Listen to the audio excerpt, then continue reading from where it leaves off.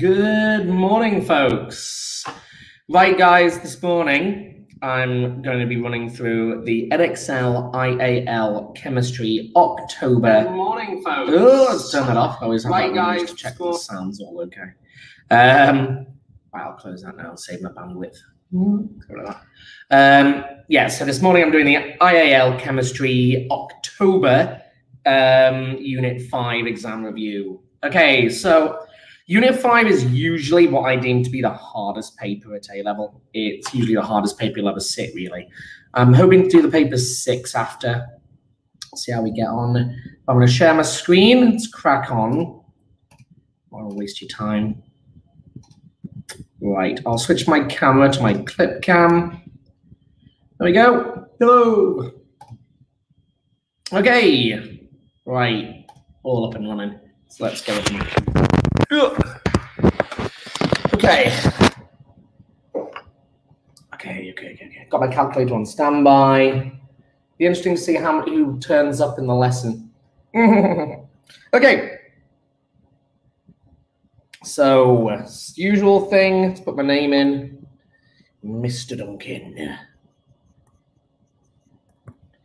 Okay, so usual multiple choice starting for IAL. So, oh, let's get rid of that. No, that's decided to pop itself.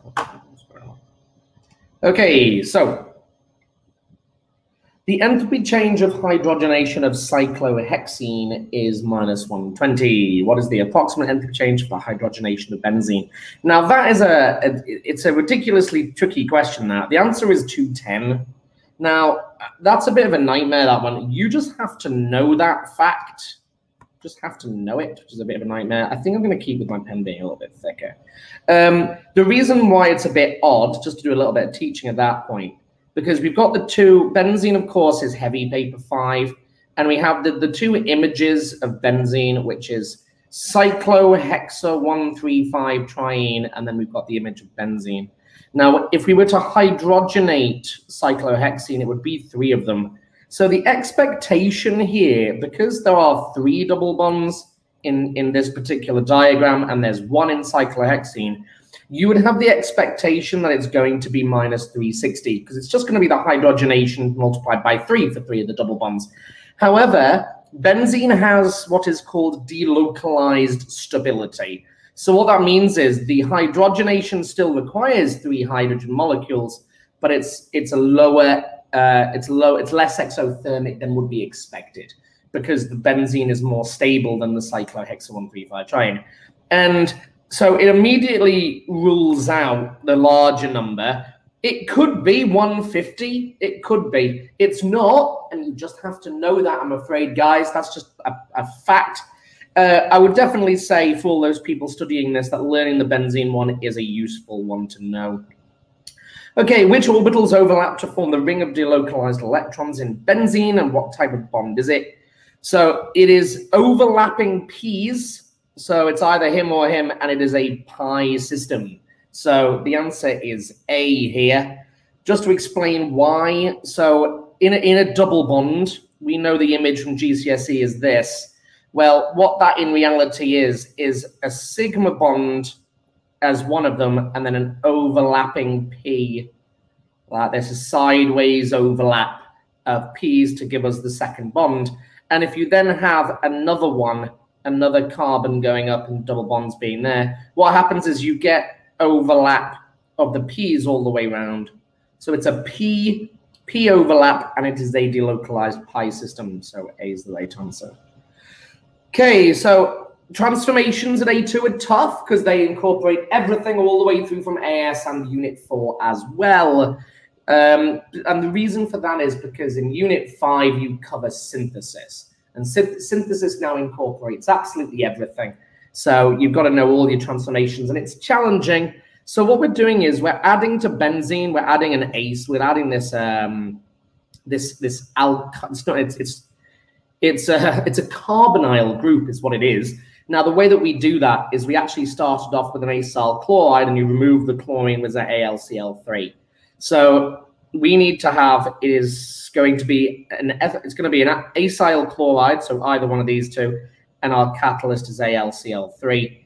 So it's going to be C. Um, again, transformations is one of those ones which you just have to start learning them. You know that with benzene, we, we essentially do a, a set of reactions with benzene. So if we take benzene, I'm just going to do benzene like this. Um, what we can do is we can do several transformations with benzene. You can add on a nitro group. You can add on a halogen, a flat halogen like Cl, like chlorine. Um, you could add on an alkyl group. You could add on a, a CH3 or an R group. Um, and we can add on our we can add on our um, carbonyl group which is this one, C double bond O bond R.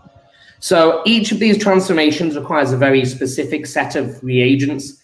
This one, of course, is concentrated nitric acid and sulfuric acid followed. And this one, and they have to be conc, by the way, both, yeah, generating the nitronium ion. This one's going to be chlorine and AlCl3. Then this one's going to be a CH3Cl with AlCl3. And then this one's going to be the C the the C double bond O and a Cl, and this is your R group. And again, we're removing, know, so you can see common trends here.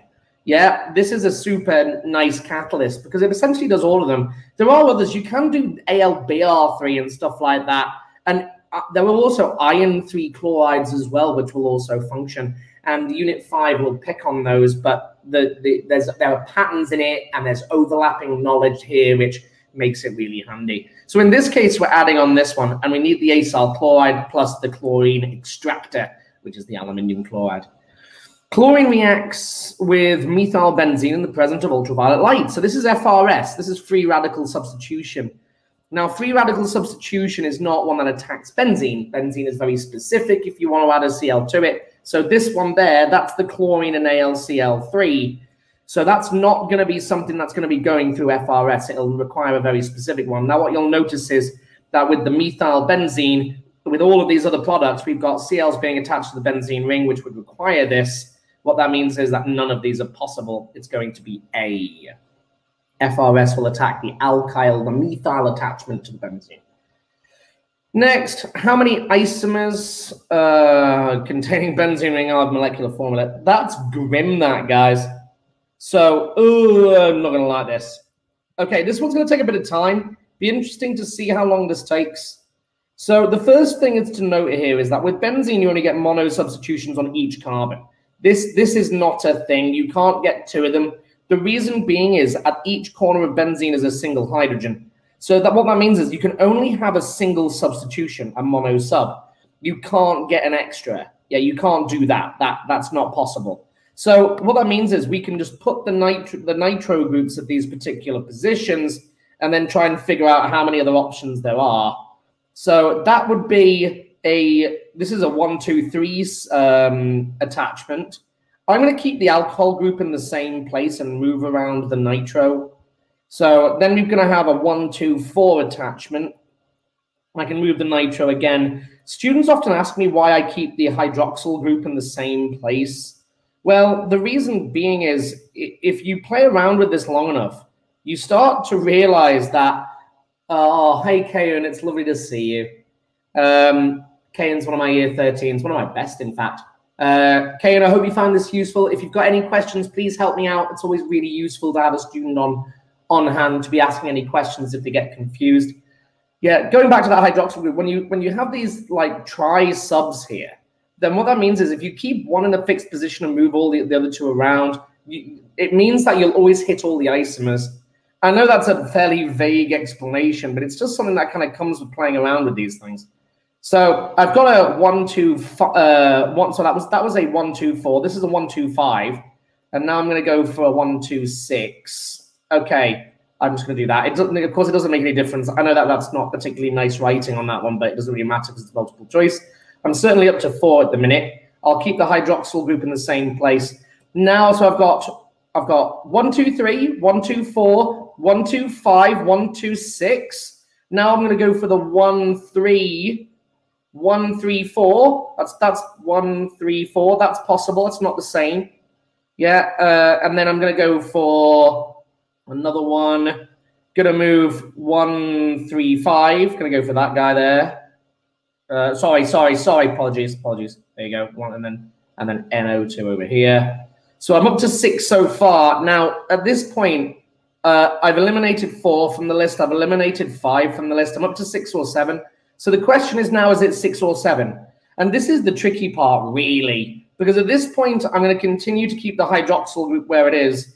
But if I now keep that NO2 there, and I move this one up to this point, that one now, but this one now becomes the same as same as uh, that guy. Nope, same as that guy.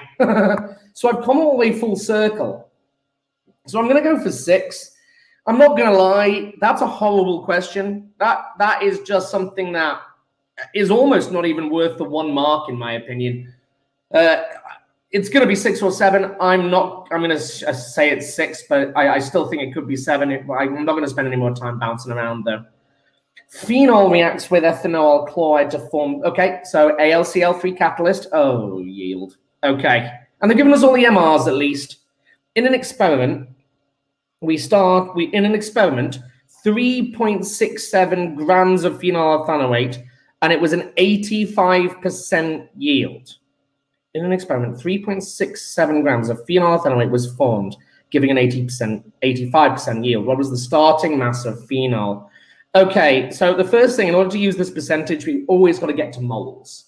So number of moles is grams over rams. So, and they've given us the MR, which is kind of makes sense because otherwise it's going to be a horrible question for one mark. 3.67 divided by 136. So that gives me 0.026270. Now the ratio is one to one, but it's an 85% yield. So if this was 85%, we can work out what 100% would have been. I'm going to divide that number by 85 because that's going to get me down to 1%, which is 3.175 times 10 to the minus 4 which means I would have had 3.175 times 10 to the minus 4. Oh, no, no, sorry, that's 1%. Now I'm going to multiply, that's 1, that's 1%. Now I'm going to multiply that by 100, so times 100 takes me to 100. So if it had been a 100% yield, I would have had 0.317 moles of it. And that would have been 3101, sorry, 3, damn it, 0.0317 moles of that, multiply that by the MR of 94, and it's going to give me the grams. 2.98. There we go. Done. Uh, does this have anything to do with the ortho meta para directing groups, or are they just sticking NO wherever? They're just sticking NO wherever, Kayun. Blimey, if you want to start, if you want to start saying where they're going to go, that becomes a whole lot more tricky. So the OH group is an activating group and is or and is uh, pushes electrons into the dilute. Uh, does it? Yeah. Orth meta para projecting. I always forget that bit, Kayun. It, it's uh. so the the thing is, you see, the OH group is an activating group. It adds to the ring. What that means is it is definitely activating, but in terms of its ortho meta para projecting, the chlorine groups are the odd, the, the halogens are the weirdos. They they project where they shouldn't project. But um, an OH group, you tend to link activating to because it's gonna. I'd, I'd, have to bounce around through my tautomers. It's a horrible question, that Kayan. Yeah, if you start, if you want to do that and say where would they actually go, what would happen is you see if if you reach if you attack it with an NO2 plus, yeah, that double bond is going to break. And if it was to go, and if you put it here, yeah, so you have H and the NO, NO2 plus there, that becomes positive. That can bounce to this corner. That could bounce then to this corner. Right. Well, because it's an activating and pushes it, that should stabilize it. So that should be ortho projecting. Now let's just check that. It's nice to just now that she's mentioned ortho meta para projecting, ortho meta ortho meta para um there's ortho meta para projecting directives. There you go. It's nice to just point out whether or not I was correct on this one. Uh, come on, don't. It's going to give me loads of information I don't want. Mm-hmm, mm-hmm. Ortho para. Yeah, there you go. Yeah. So the OH groups are as expected. Yeah, they're going to be ortho para projecting. I have to say, I don't particularly like how they're doing it. Whereas those are withdrawing, so they're going to be meta. Meta? Yeah, meta projecting. Yeah, correct. So I am there. This is ortho. Yeah, ortho, and this is meta, and this is para, ortho, meta, para. So the NO2 could also go here as well, because that would bounce the plus to there, there, and there again. So yeah, I hope that makes sense. Uh, those particular points, uh, it's a really good point to make. Um, I think I have a webinar on ortho, meta, para projection, but yeah, have a look at it if it's there. A hydrocarbon, uh, let me know, Kayan, if that answers your question.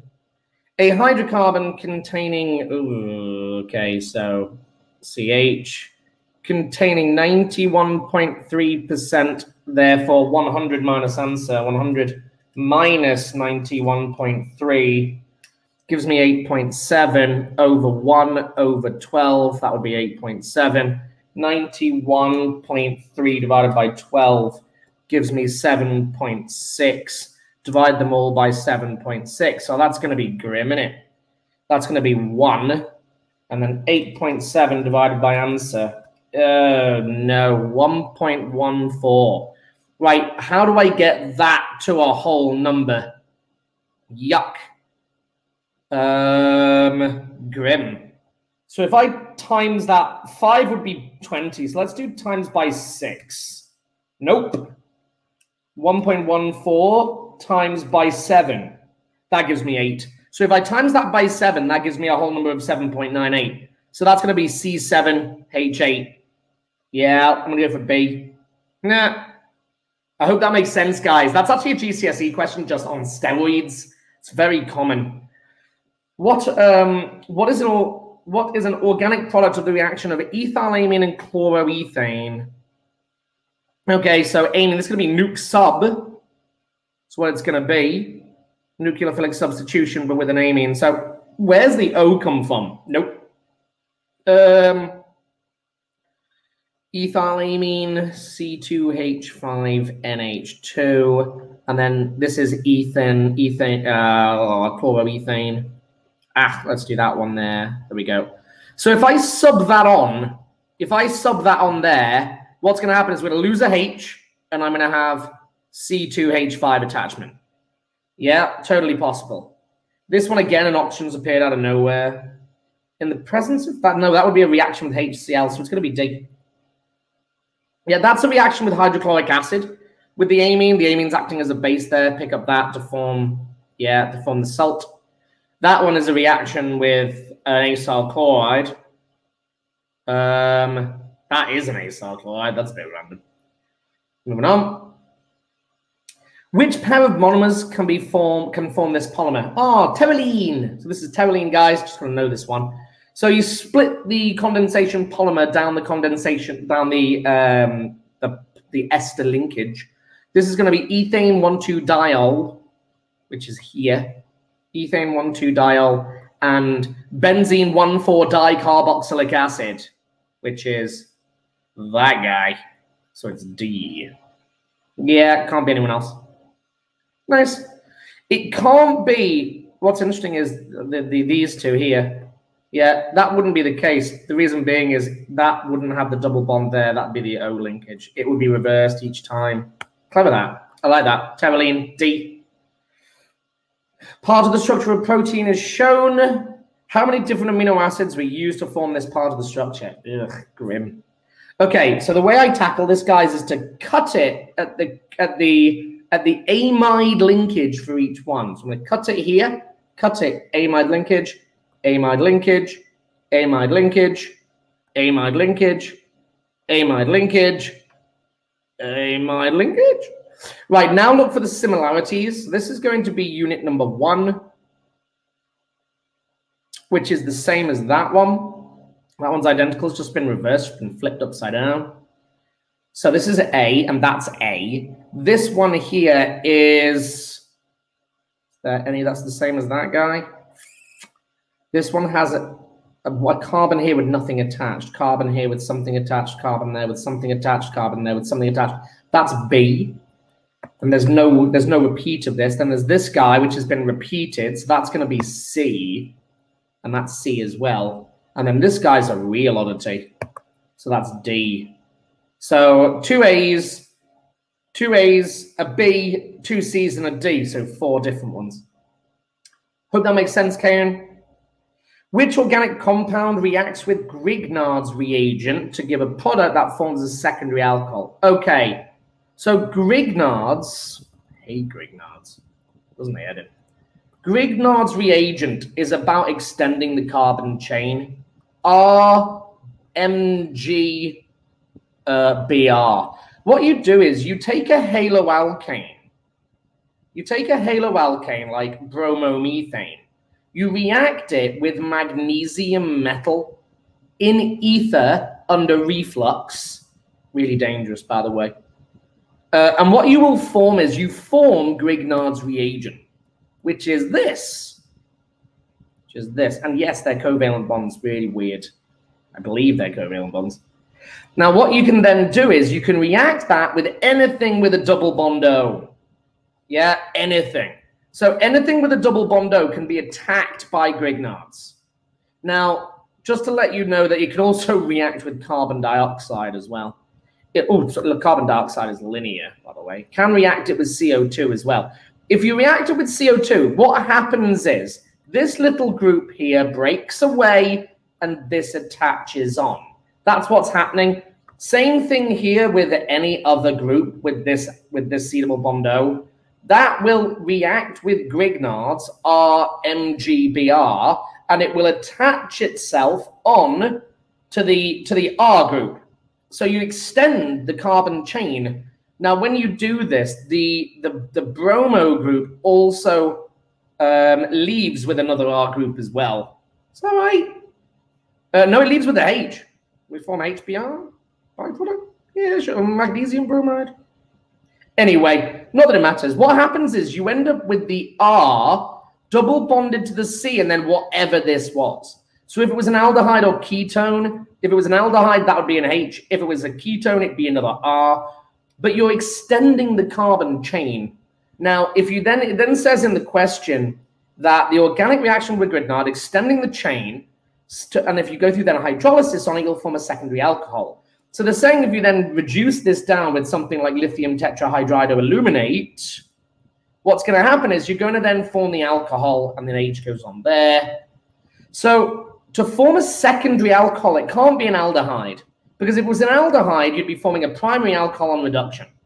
Well, it can't be carbon dioxide either because that's going to result in a carboxylate carboxylate salt.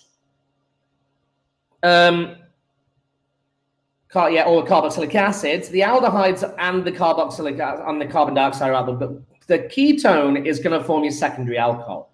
Because what happens is the Grignards, which was R that, now binds. The R group is now attached to propanone. Yeah, and you then reduce that, reduce that, and I know that's got too many bonds. That's why it goes through immediate reduction to form your secondary alcohol. Yeah can be done. Can be done. So the answer is propanone. I hate Grignards. It's horrible. Extending carbon chains using weird reagents. Okay, a compound with the formula C6H14 gives uh, a C13 NMR with four peaks. So this has symmetry here. One, two, three carbon 13 peaks. This has full molecular symmetry here. So one, two, three, four peaks. Oh, B. Nah, Next one, symmetry, partial symmetry here. One, two, three, four, five. And then this one has full molecular in that and that. So one, two. Nice. Clever. So the answer is B.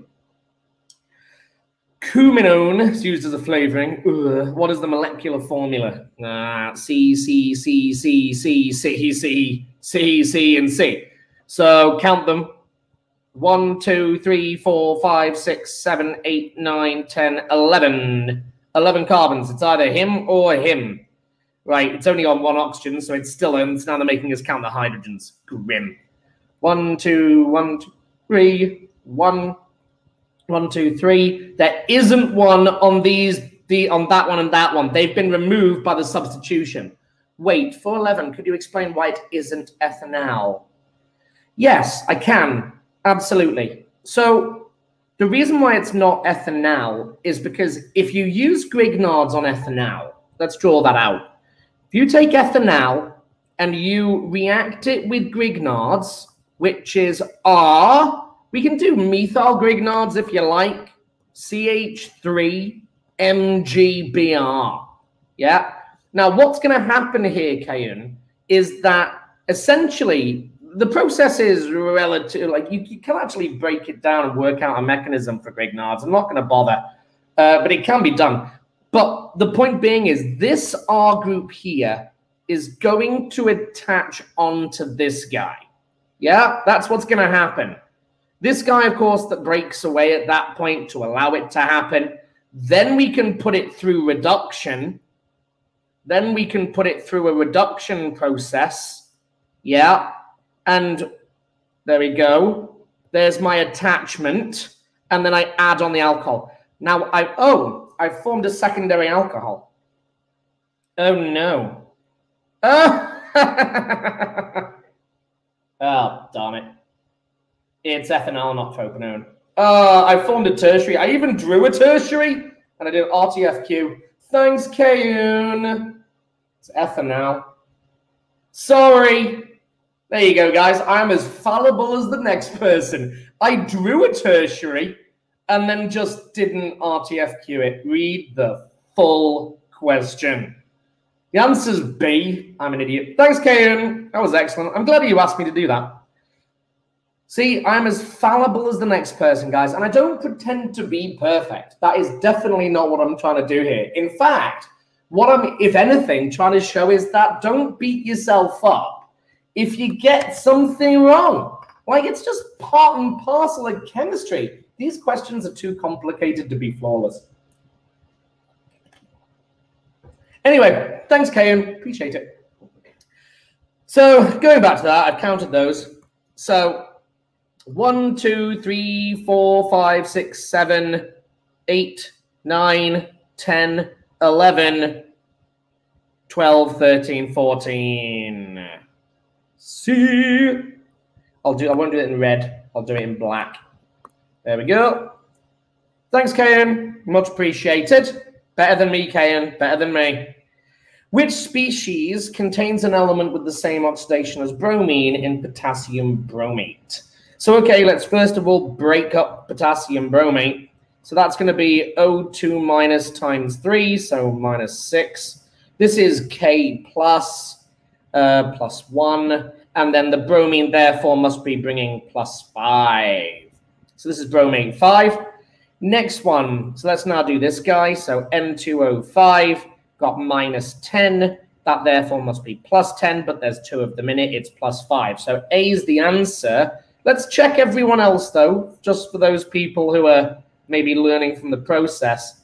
O2 minus times by 2 is minus 8. Sorry, I do like it doesn't actually matter which direction you put it in, just pick one. Minus eight, and then this one's gonna be plus one. Like manganese is in a plus seven. And then K2FeO4. So that's minus eight. That's plus two. So that's going to be iron in plus six. Yeah. And then sodium sulfite. Ooh. Sodium sulfite minus six plus two. Sulfur is in a plus four. There we go. Nice. Which is a redox reaction? Oh, such a pain. So once again, minus 14, minus 2, so I've got plus 12, plus 6 for chromium. I'm going to shrink my pen here, guys. Carbon is in a 0. Then chromium is in a minus 6 so therefore plus three. And then carbon, of course, is going to be in a plus four. So that one is redox. A is the answer. That's nice. So six to three is reduction, and zero to plus four is oxidation. That one is indeed a redox. Um, let's just check all the others. I don't want to. It's too much time. That one is the. If you then run everybody else, guys, what you'll realize is that they won't show a change in oxidation state. That's what you'll see. So ugh, minus two because each chloride is minus one. So then, then we've got minus four as well. So that's in a plus six. And then this is the chromate ion, which is yellow. So that's minus eight plus, plus six, no change. Chromium hasn't changed, neither does the chlorides. Yeah, so not redox. This is plus six. We've already had that one. Yeah, that's plus six. And then this one is ugh, minus one, and then minus, uh, minus six. So that's mm, minus one for the chloride, minus six for the oxygens, but it's in a minus state. So that's going to be plus six from the chromium. No change in the, in the chromium oxidation state. Next ones, this is going to be plus six. We've seen the chromate already. That's yellow. Going to the plus six dichromate, which is orange. So no change in oxidation state. A was definitely the right answer. The electronic configuration of an atom of an element is this. What is the maximum oxidation? Oh, this is stability of oxidation states in transition metals. What you realize is it's going to lose the 4s first, but then it can also lose a maximum of the 3d5. So this is going to be plus 6. It's going to be its maximum oxidation state. Students often ask me, why won't it just form a 1 plus? They're like, won't it just lose the 4s and then stop and be stable? And I'm like, yes, but it's transition metal. And the transition metals, you know, it's the whole point of them is that they form multiple oxidation states. Uh, and I can tell you who this is. This is chromium and chromium's maximum oxidation state is plus six in the chromate or dichromate ion. So nice question. Which of the following species will not act as a ligand? This one can act as a ligand. It has a lone pair. This one can act as a ligand. It has a lone pair. This one can act as a ligand. It has a lone pair. This one cannot act as a ligand because the ammonium ion has a dative covalent bond that's taking up the nitrogen's lone pair. So it is no longer got the lone pair was used in the formation. That was the lone pair before. This was the acid, and it used that to form a bond to it. Sorry, Mr. Dunkin, I've got to leave now, but we'll catch it back later. No problem, Kay, and I'm sad you're not here. Winkit, you're still here with me. I need you, Winkit. Now that Kayan's gone, she's already fixed one of my questions. I need you to be on it with me, Winkit. Next, Okay, so it's given you a transition metal complex and it's asking us to check, do you understand the term coordination number? One, two, three, four, five, six. Nice and easy. Six coordinate bonds to the nitrogen, uh, to, sorry, to the nickel. Thank you so much for sacrificing your break for us. Oh, you're very welcome, KM. I see the value and, and, I, and I love you guys to pieces, so I'm always willing to support, even in my holidays. So it's either six, and then what's the oxidation state of the overall compound, M? Well, it's told us that nickel is plus two, the chloride ion is minus one, the oxalate ions, which you've got to recognize there, guys, are, oh, this is the oxalate ion, and they're minus two. Yeah, they're minus two. OX2 minus. So that's two of them, so minus two and minus two. That means total minus six, and nickel's a plus two, so it's going to be in a minus four. The answer is D. In acidic, condition, in acidic conditions, manganate 7 ions are reduced to manganese 2 plus. In neutral conditions, manganate 7 ions are reduced to manganese 4 oxide. A 22 centimeters cubed solution of manganate 7 ions were needed to oxidize 25% of iron 2 to iron 3 in acidic conditions. Okay, so it's given us this guy. The same solution of manganate was used to oxidize 25 as the same solution but in neutral conditions. By considering the oxidation charges involved, it may be shown that the volume of manganate 7 ion required in neutral conditions is. Right. So we've got Mn plus 6 going to Mn plus 4. No, sorry, plus 2 in acidic. Now, that requires it to gain four electrons. The Mn6 plus, sorry, 7 plus, my, ah, that was easy. God, five electrons, so easily done, five electrons. Mn7 plus gains, goes to Mn4 plus, yeah, which means it gains three electrons.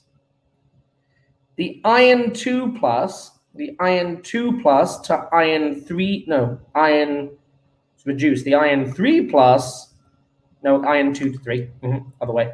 Iron 2 plus to iron 3 plus will gain one electron.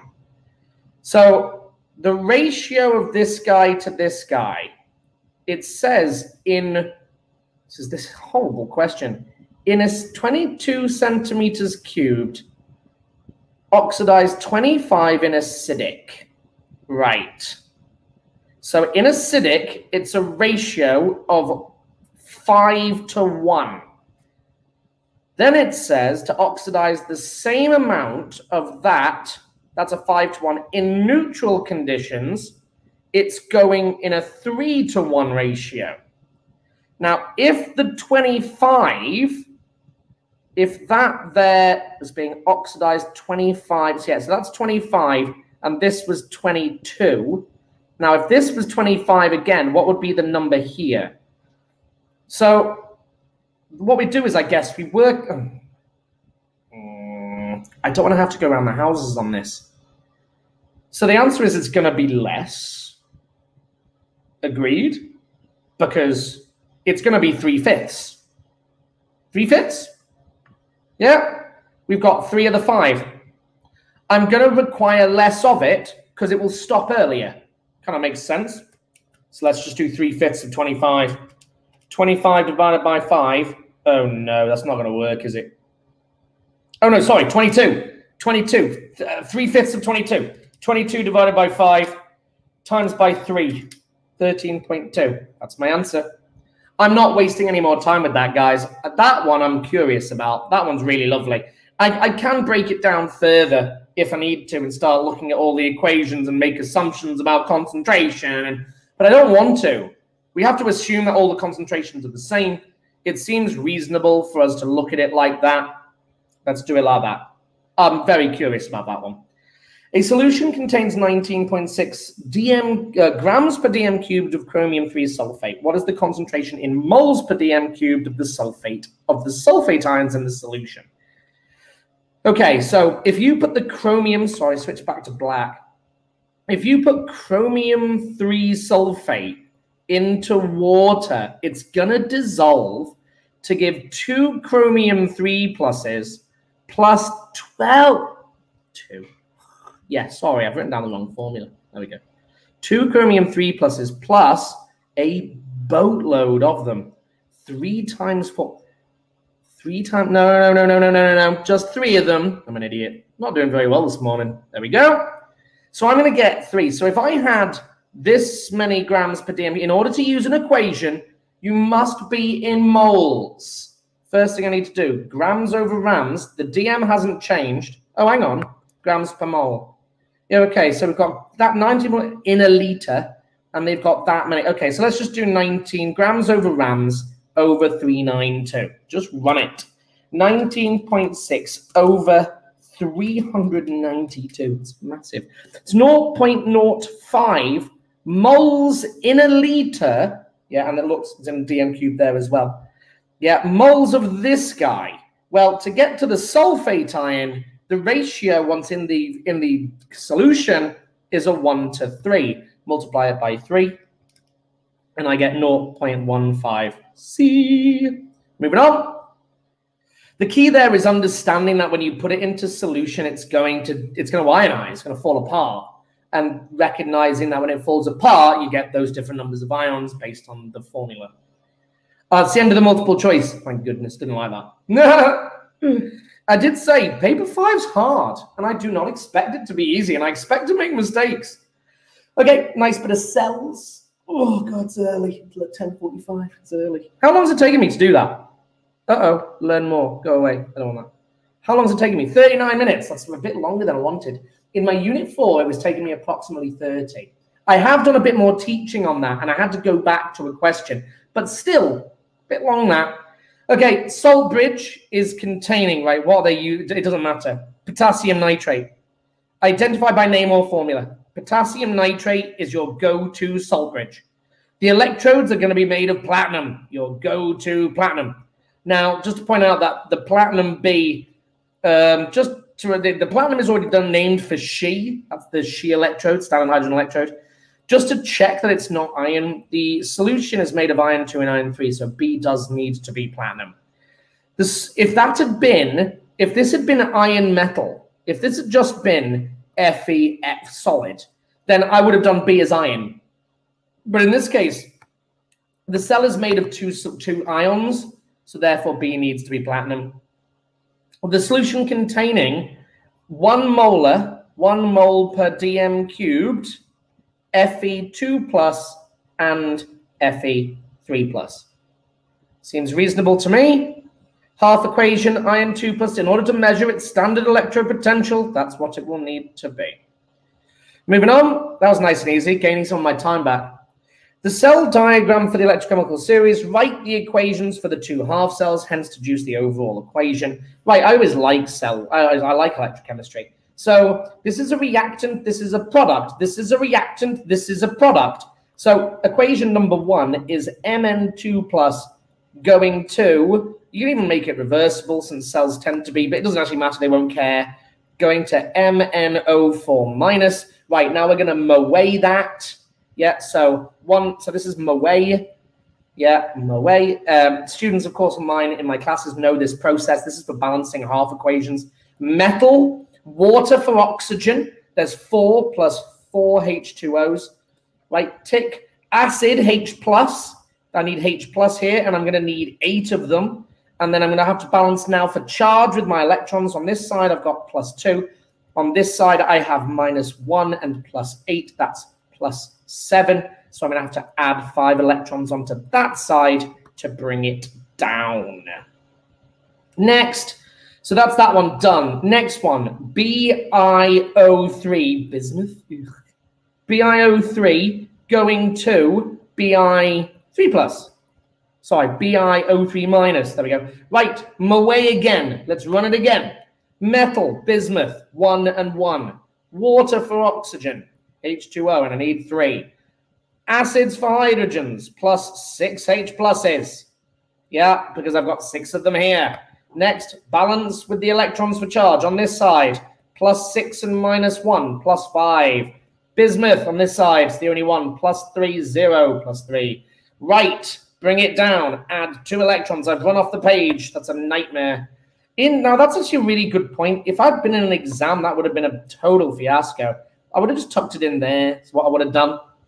Yeah, was it two? That was plus five, and that was plus three. Bring it down with two. Right, now I need to put them together. Now I need to put them together, and the electrons need to cancel. So I need to multiply both equations by two, because that means the electrons are going to cancel. Yeah, the electrons are going to cancel. So now, now the, can I just point out, in an exam, this is a bit of a nightmare because having to rewrite everything takes so much time. Um, what I would recommend really is because you now do multiply by two, multiply by five. They, they will allow you, of course, to have multiples in your actual equations. That's totally fine. So that's going to be eight. That's going to be two, two, 16, and 10.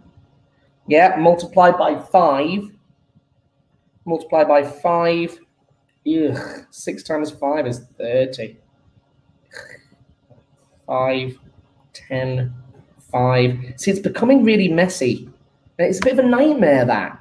Now you need to cancel out everybody. So what I would do is, guys, I would write the original the original equations in pen. Then I would switch to pencil for adjusting all the numbers and doing all the various cancellations. I'd switch to pencil and then you can just erase it. That's how I would do this in an exam.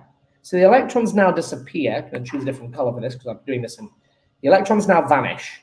Right, the H pluses mostly vanish.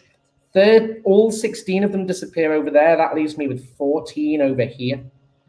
Yeah, 30 and 8, 16. Yeah. Then the waters all vanish from this side.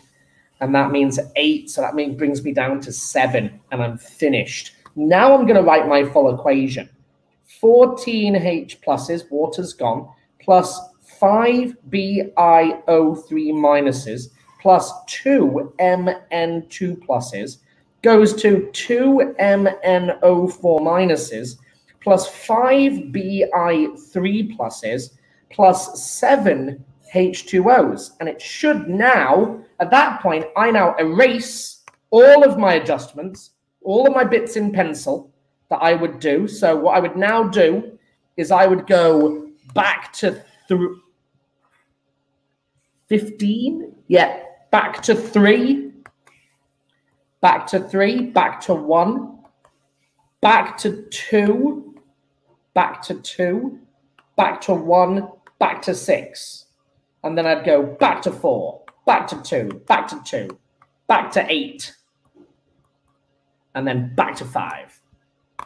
Just like that. That's how I would have done it in my exam, just so you know. And get rid of all of these. Yeah, don't need any of it.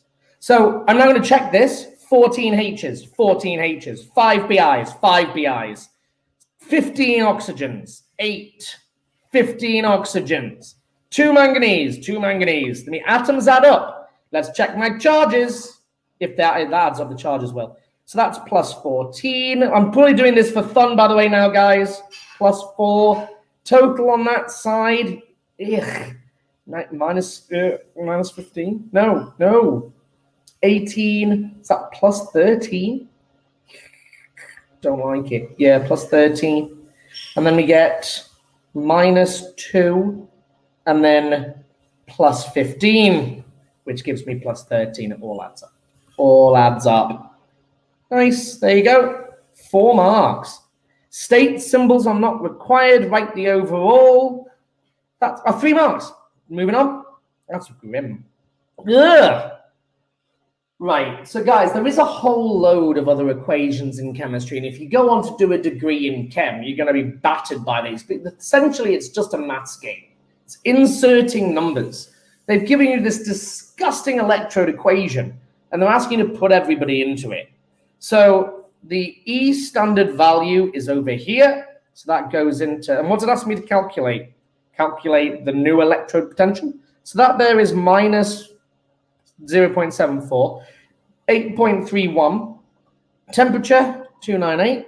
Oh, thank you, Angel. N is the number of electrons in the half equation, which is three. And then Ln, the, uh, the, the, the new concentration. That guy, 0.01. Right. Okay, run it through your process. So now I would do this two marks. I would do this in, I would actually write that out with minus, no, I would write it out with all my numbers subbed in. 8.31 times by 298. That's going to be a mark, by the way, guys. The subbing in. That's what they do with this. If they give you funky equations, there is a mark for subbing in, just simply showing all the subbed in numbers.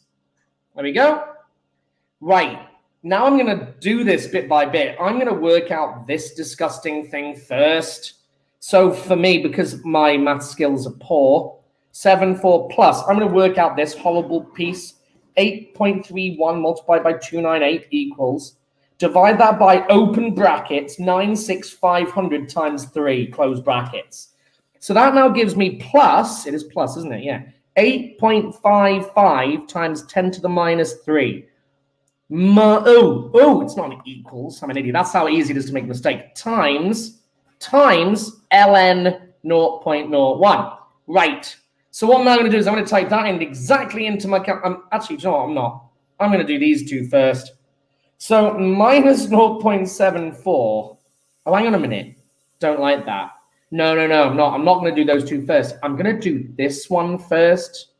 Yeah, BIDMAS, BODMAS, brackets, indices, divide, multiply, add, subtract. So that's an add. So I'm going to do that after. Going to do the multiply first. 8.55 exponential. Have I got like a number on my... No, no, no. Answer equals... I don't have got that answer on the calculator. Multiplied by ln... Well, I'm going to put it in a bracket. Multiplied by brackets. ln 0.01. Close brackets. Okay, I now get minus 0.0394. Okay, I'm now going to do that final bit of minus 0.74 plus brackets that value. So minus, minus 0.74 plus brackets minus 0.0394. And I get an answer of minus 0.772. nine. And the it's going to be in volts. So it's gone up. No, it hasn't. It's gone down. Next. Done. That was an awful lot of work for two marks.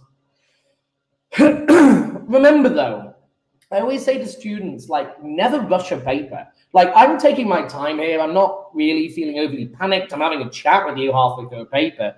Probably shouldn't be doing, saving me a lot of time.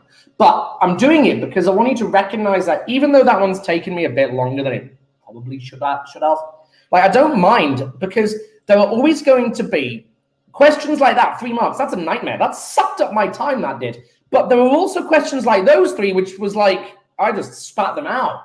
Like, that was easy. Save myself. There's always going to be questions that take time and questions that don't. This one's not going to, is it? So this one's given us a mechanism which is total garbage, step one. And it's given us this series of images which are all garbage. Describe the three changes to correct the mechanism. Okay, number one, the curly arrow there is incorrect. It's going in the wrong direction. So I'm actually going to just draw the correct one. Yeah, that's all I'm going to do. I'm just going to literally draw the correct one. Put the charge where it should be, and it's going to do that. Done. Uh, it says describe, so I'm going to put um, curly arrow, curly arrow needs to leave, needs to leave from, from BZ ring. I'd write benzene in my exam, by the way. Just saving myself a bit of time here. Right, the next picture is also garbage. The ring is all kinds of messed up. So they've attached the NO2 to here and the H to here. There's two mistakes now. The first mistake is that the curly arrow should be going from there inwards. Yeah instead of leaving from the hydrogen, that's garbage. The next thing is that the ring is broken incorrectly as well. So the ring should have been facing that corner post. Now, this what that means is that there are two thing, two mistakes here, and I need to pick one.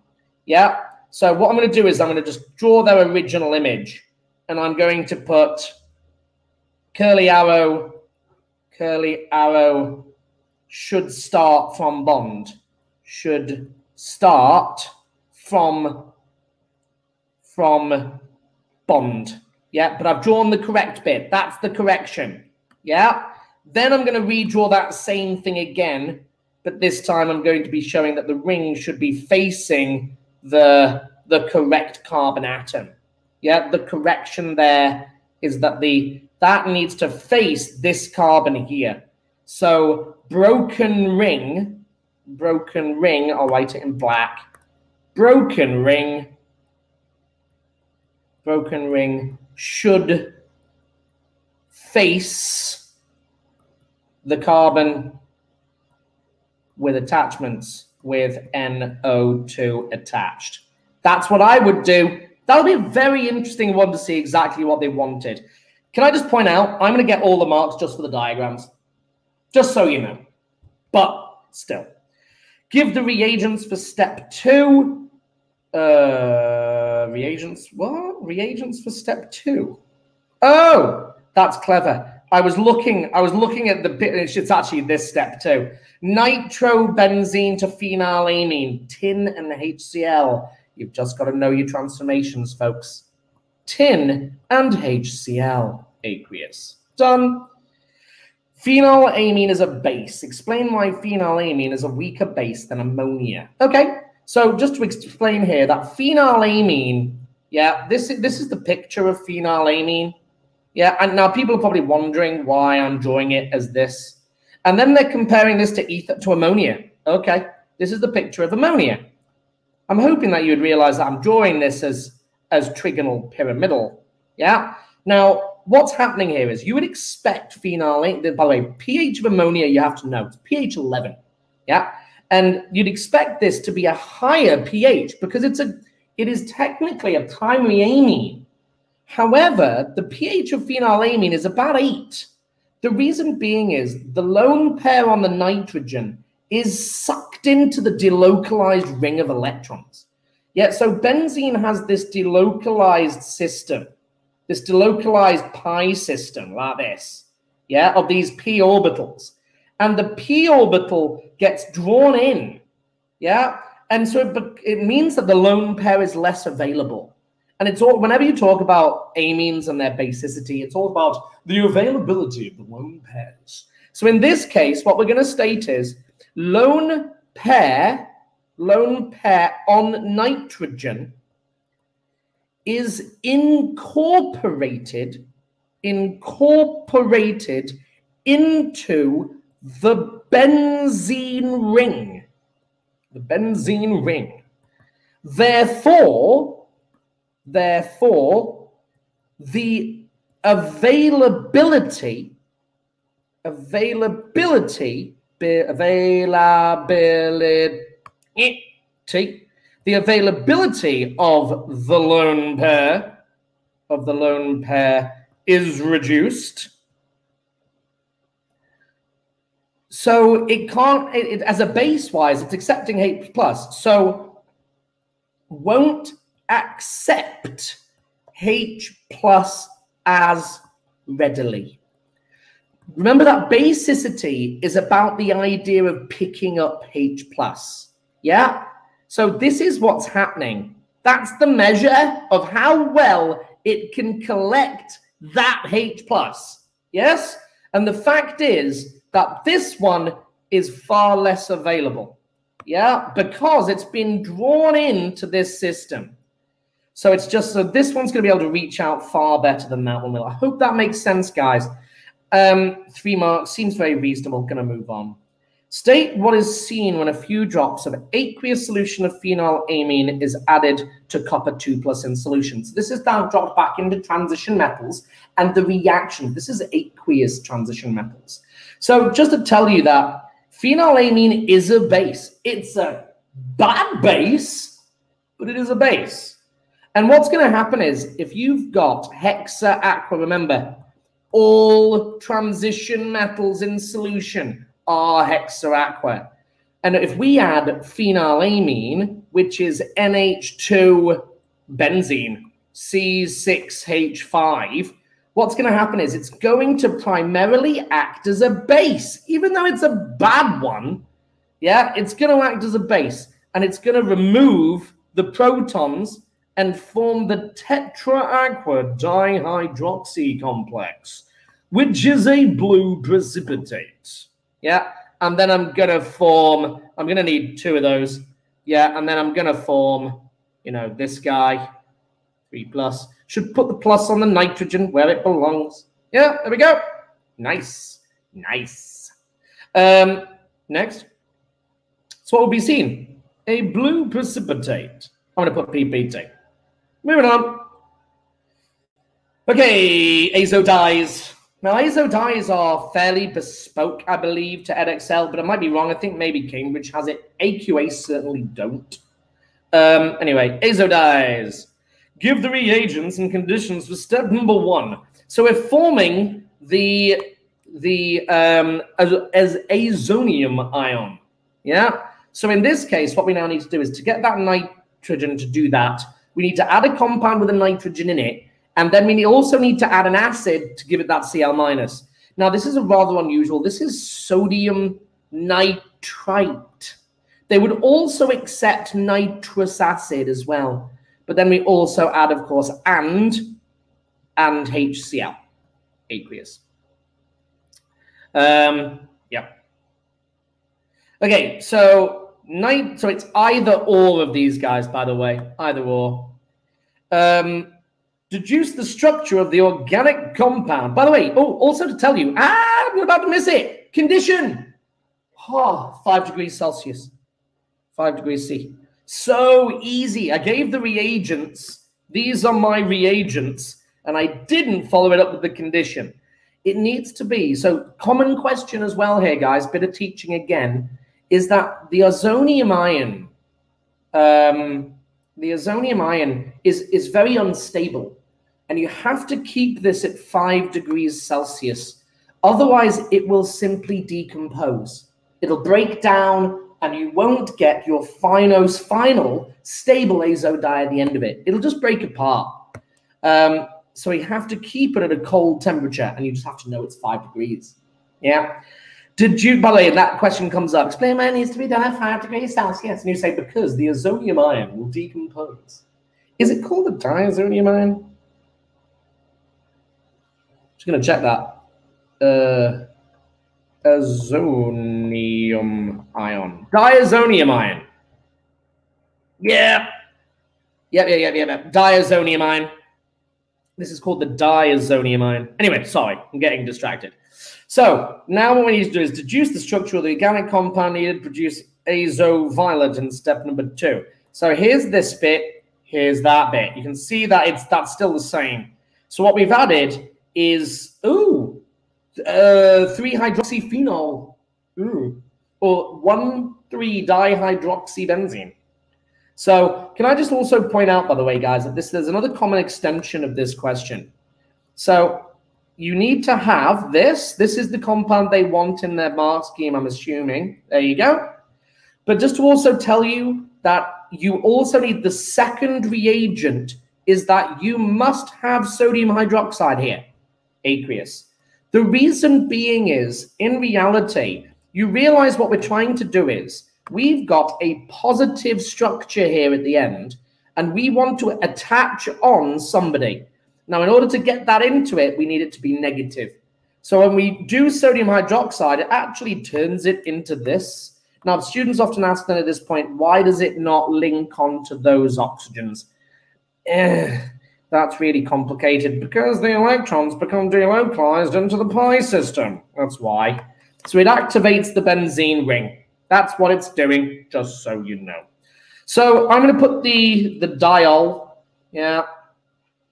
Uh, I wouldn't call that a dial, by the way. I would call that, I'd love to know the, the proper name for that. Um, I'd say 1,3-dihydroxybenzene or 3-hydroxyphenol. I know it seems weird, right?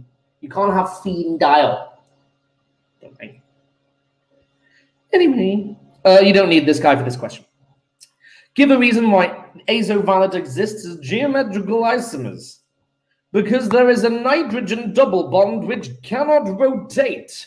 We know that ge geometrical isomerism, geometrical isomerism is usually in the C double bond setting. Yeah, X, Y, Z, and W. And that these can be, the double bond can't rotate. I'm going to say nitrogen, nitrogen, nitrogen double bond Nitrogen double bond. Double bond has restricted rotation. Has restricted rotation. Yeah, you can't rotate it. I just put I shouldn't put restrict, I should just put can't. Can't rotate. Yeah. So it's going to show geometrical. That's a really lovely that. What a beautiful extension for you to pick up. Because if you'd forgotten what geometrical isomerism was from AS chemistry, then you read stuck. Yes, that's a genius. I love that question. Okay, next one. Oh, draw the optical isomer. So just reverse it. Do the exact mirror image. Not going to waste your time on that.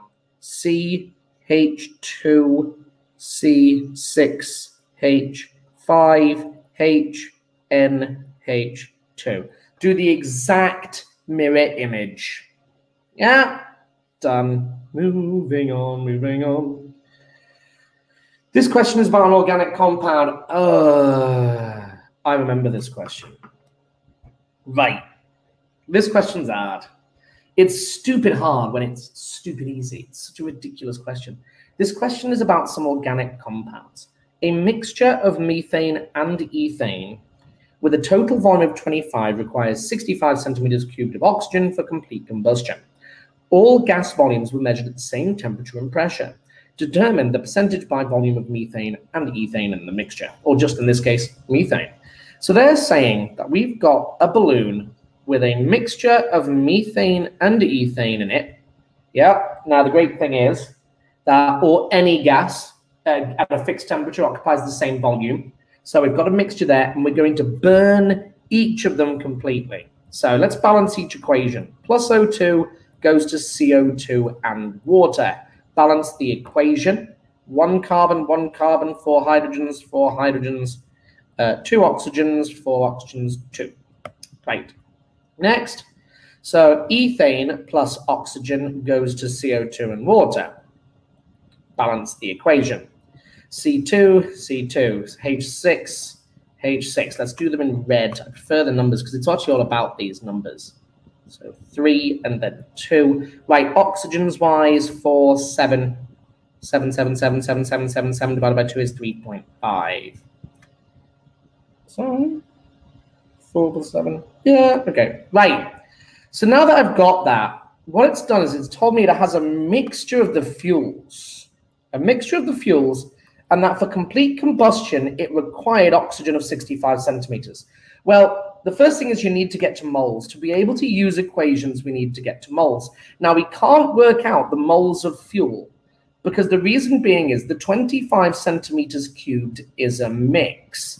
However, what we can do is work out the moles of oxygen. So the moles of oxygen is 65 centimeters cubed over 24,000, the ideal gas constant, because it's at a fixed temperature and pressure. Let's use that. It's only four marks. You could use PV because then our TV you're going to go nuts. Right, so 65 divided by 24,000 is going to give me, right, so that gives me the moles of oxygen as 2.71 times 10 to the minus 3 moles of oxygen, moles of oxygen. Now, the next thing is, because we can work out the moles of fuel, in fact, because the all, not you notice, guys, we didn't have an MR here. And that all gases occupy the same volume at a given temperature and pressure. So the fuels being in a mix doesn't really matter. I can work out the moles of fuel based on the volume of gas I was given. So I can do that. So my previous statement was wrong. 25 divided by 24,000. It will give me the moles. 0. Point, sorry, 1.04 times 10 to the minus 3 moles. Right, now here's the genius bit. What's the ratio of the, because what we realize is that the ratio, the amount of oxygen needed for methane is 2 for 1 mole. The amount of oxygen needed for ethane is 3.5. Well, if we have a mixture, then we're going to end up with a number of, of the ratio of oxygen being somewhere between 2 and 3.5. So what we need to do is we need to work out what the ratio is. So divide them all by the smallest will get me into the ratio.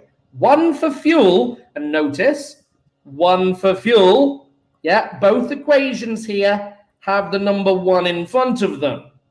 One of the fuel, now if I divide that by 0.4 times 10 to 1.04 times 10 to the minus 3, 2.71 exponential minus 3 divided by answer, exponential minus 3, divided by answer equals 2.6. Right. So my equation is my actual ratio is 2.6. So I've got methane, which needed two moles of oxygen, and ethane, which required 3.5 moles of oxygen. And I've just worked out 2.6 was the actual number. So what we can now do is we can work out how. So, by the way, please note first thing to notice here, guys 2.6 is closer to methane's number than it is to ethane's number. So, how do we now work out the, the actual ratio? What we now do is that if if methane methane was 2 and ethane, whoops, ethane was 3.5, our number was 2.6. 2.6. Right. We are closer to 2 than we are to 3.5. What that means is there is more, this is the methane, and this is the ethane. There is more methane than there is ethane. So the difference between these two is 1.5. Yeah? Now, the difference, since this is the methane, and because we've got more methane than ethane, yeah, the difference between 2.6 and 3.5 is 0.9. So 0.9 over the total difference, 0.9 over 1.5 gives times 100, we want it as a percentage, gives me 60%.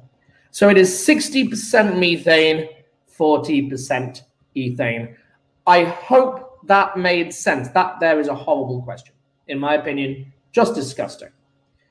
Requires some really lateral thinking. Um, you can do that purely mathematically, by the way. I don't do it mathematically because I work in chemistry speak.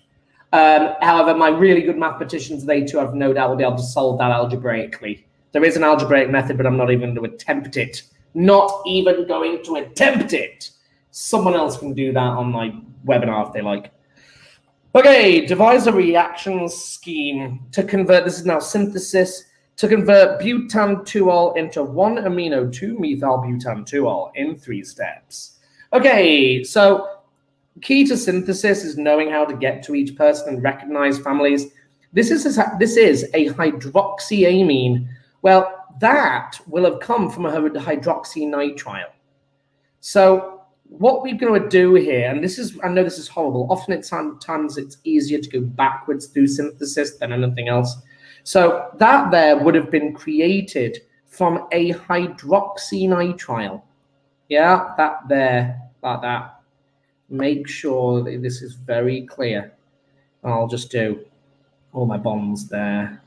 Uh, I'm not going to waste my time with hydrogens, even though I would in my real exam. Oh, I would. No, I will. It doesn't add enough extension to my webinar that I should be bothered, and it shouldn't add enough time to your things that you shouldn't do it either. Right. So to get from here to here is going to be reduction with LiAlH4 or or nickel and hydrogen gas, uh, either one, 60 degrees. Now, to get to this guy, we need a, you need a ketone. Yeah, so this is going to have come from butanone. Yeah, there's butanone. Add on your H's. So to do this one, and by the way, if you do LiAlH4, it must be in dry ether. Can't forget that because it reacts with water if you're interested. Yeah, so this is going to be butanone going to this guy. To get the butanone up to the hydroxynitrile, we're going to use potassium cyanide and HCN. That's what we're going to do. And that'll be a heat under reflux. Heat reflux. Uh, yeah. Next, how do you now get to the ketone from the butanol? That's going to be um, oxidation. Include any equations for oxidation or reduction. Oh, no. So that's going to come from the butanol. Uh, yeah. It's clever that. You add, had to add in the carbon, carbon, you see. There's no other way around that. To go from there is acidified potassium dichromate. This is K2Cr2O7 in the presence of dilute sulfuric acid. There you go. Right, it now wants me to write equations for each of these steps. Um, students often ask me, how do you know how to do this? It comes with practice. You need to practice synthesis. You just do. After a while, you see common patterns, and you just have to keep practicing it. I'll do as many as I can on these webinars, but it just takes practice. They now want all the equations for any reduction and oxidations. So CH3, CH2, CH brackets, OH, there's butan 2-ol being oxidized in the presence of potassium dichromate, I'm going to form butanone, which is this guy, plus water. Run out of space in the exam, I wouldn't, of course, but run out of space there. And that actually adds up just like that. and then any, any equations for the reduction. That's a reduction. The lithium tetrahydridoaluminate is a reduction. So that's going to be CH3, CH2, CH oh, got to be careful here. Um, no, then brackets OH, brackets CN, CN, CH3. That's my, my I'm going to change that because it looks like an A. There you go. Right, reduce it with H in a bracket. You're going to need loads of them to form CH3, CH2. I'm building it in my head here. Um, then it becomes the amine, which is now the longest, which is now going to be taking preferential treatment. So it now becomes, uh, if you're wondering how to do that bit there, CH3, CH2, that's this section. This C now You gain, the still have the OH bracket. There's no H, which means the OH goes first. Then I'm going down to this guy, CH. Oh, oh, and I now need another bracket branch for this bit. Yeah, so CH3 bracket branch and then CH2NH2. There you go. It's grim, that. It's hard. You can draw it out. They'd let you draw all of that out, you know. They really would. Lots of students really hate those kind of equations.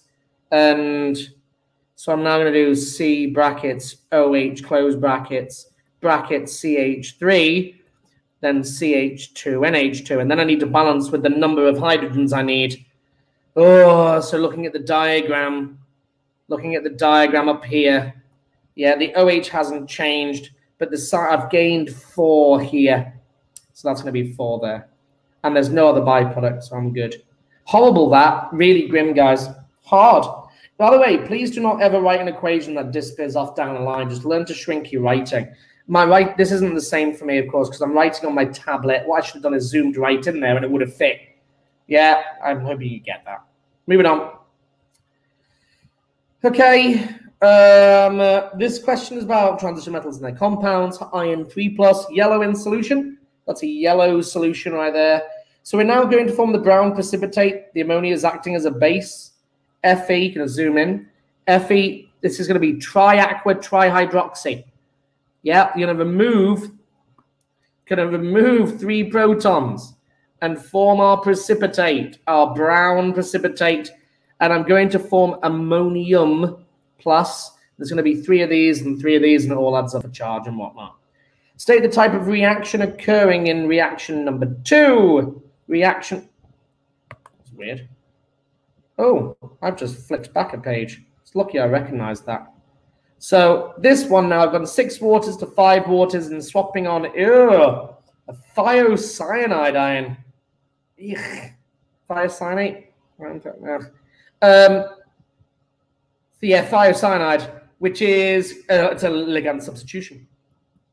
A ligand substitution. Substitution. If you're interested, that the role in that in this reaction here, the role of the ammonia is a base because it's stealing a H plus. In this one, its role is now a Lewis, a Lewis base. That's what it is. This is a Bronsted-Lowry base, and that one there's a Lewis base. Complete the diagram for the structure of reaction three. Um, ooh, it's the diamine. It's ethyl diamine. E, yeah, ethyl, ethan one two diamine. Um, okay, draw it.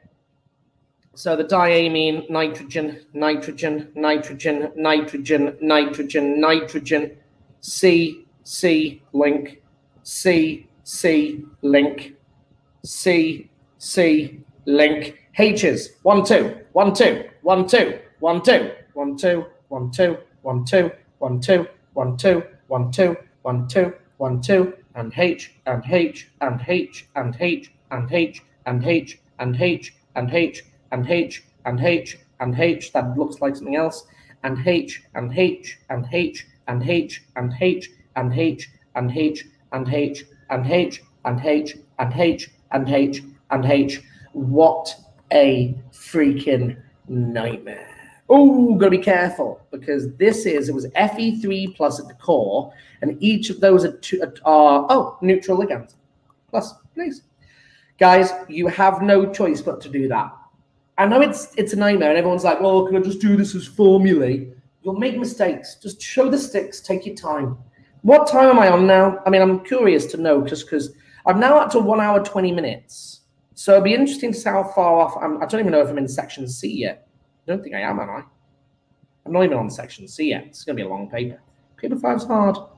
Okay, right. Colors for vanadium. God, just give the color. You just gotta know your colors.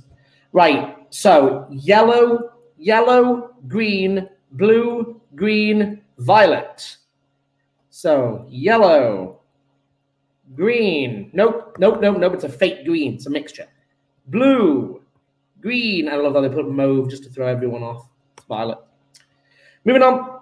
uh, two vanadium species exist in equilibrium in an aqueous solution. Deduce whether or not this is a redox reaction. Justify your answer. Same process that we had before. So this is going to be minus 6, so plus 5 for vanadium. Yeah, it looks like a 4 that. I'm to shrink down my pen here at this point.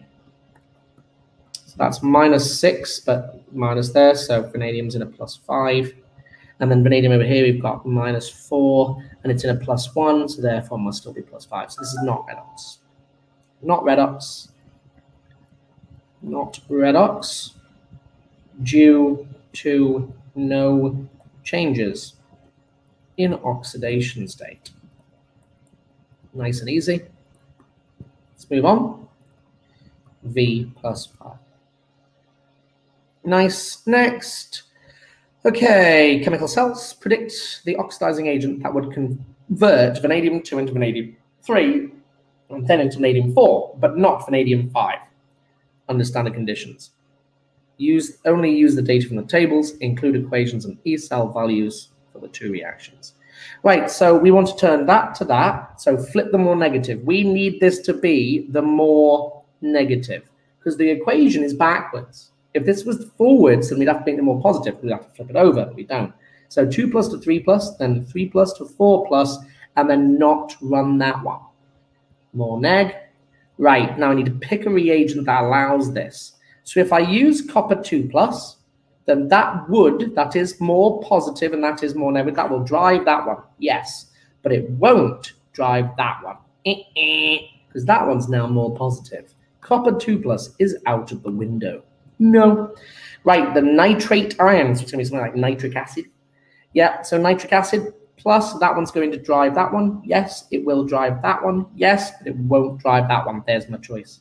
If I use bromine, I'm going to do that one as well, which is not what I want. So it's nitrate ion. So we now need to include include equations and E-cell values.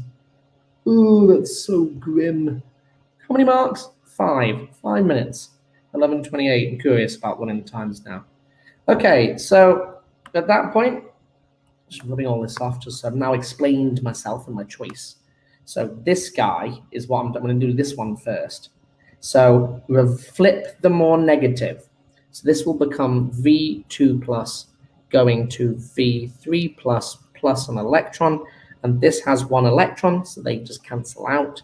So my equation will be NO3 minus plus V2 plus goes uh, and 2H pluses goes to, because the electrons cancel and I flip the other equation, goes to V3 plus plus uh, H2 uh, plus these guys.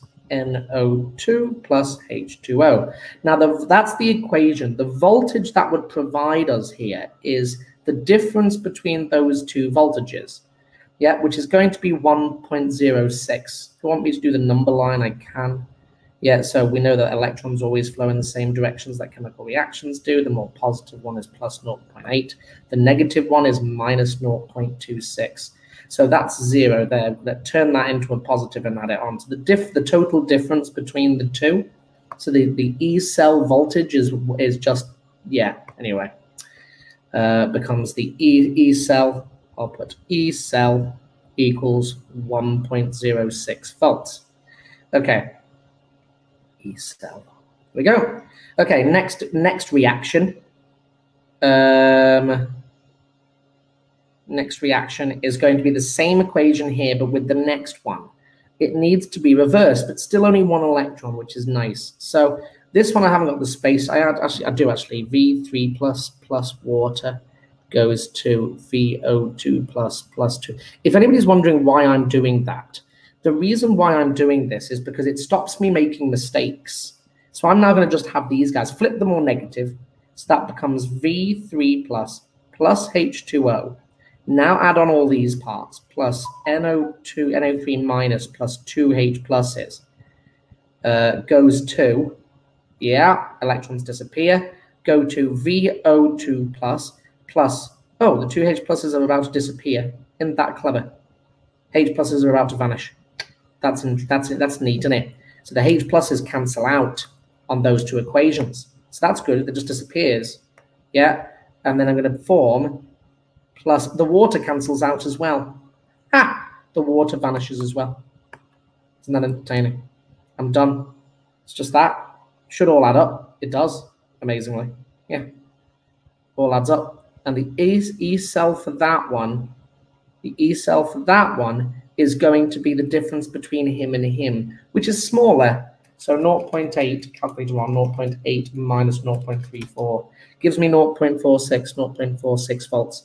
Do I need to explain anything? Predict the oxidizing agent. So I've got four marks guaranteed here, and my oxidizing agent, oxy agent, oxidizing agent, uh, I'm going to say nitric acid, HNO3 nitric acid because it'll provide me with the nitrate ion. Yeah, could have probably chosen sodium nitrate as well. Probably totally reasonable. Let's move on. Transition metal compounds, transition metals, at their compounds and their ions can act as heterogeneous and homogeneous catalysts. Compare, compare and contrast these two types of catalytic behavior. Include one specific example from transition metal chemistry of each of these types of catalysis and a reaction in which it is used. Okay, so um, compare and contrast. Okay, so both, let's first of all talk about why they're done. They're done to speed up rate and they provide an alternative route of reaction. So both, both types increase both types increase rate of reaction, rate of reactions by providing, by providing an alternative, an alternative route of reaction with a with a lower activation energy with A. I cannot stress that GCSE, but lower activation energy. Okay. Now, now we've said that they both do that. Now we need to compare their processes. So heterogeneous, heterogeneous catalysts, cats, I'm going to put cats. I'm not, there's no point. Heterogeneous catalysts are in a different phase or in a different phase compared compared to reactants compared to reactants for example for example iron metal in Haber process give an equation uh, do I need to do anything else just Mm, include one specific example each and the reaction in which it's used? Haber process. Uh, I'm actually then going to go N2 plus H2 goes to ammonia and balance. I know this is ridiculous, but it fits just about. There we go. Haber. Now I'm going to say how it works. Um, hang on, do I need to do that? Different phase. Yeah, now I'm going to say how it wor works. So uh, reactants, reactants adsorb, that's important, adsorb to active sites, to active sites on catalyst. Bonds, bonds are weakened weakened stroke broken, new products made, new product made and desorbs. Full stop. So there's my hetero done. Now I need to do homo. So homogeneous cats, catalysts are in the same phase, in the same phase as reactants, as reactants, same phase as reactants. Mr. Dunkin, I have to go, but we'll do the paper later. Thank you. Thanks so much. I love the fact that you guys are disappearing and I'm the one staying. Like, I'm not entirely sure how that works out, but okay. But you are being super nice to say thank you. Homogeneous cats, different phase reactions.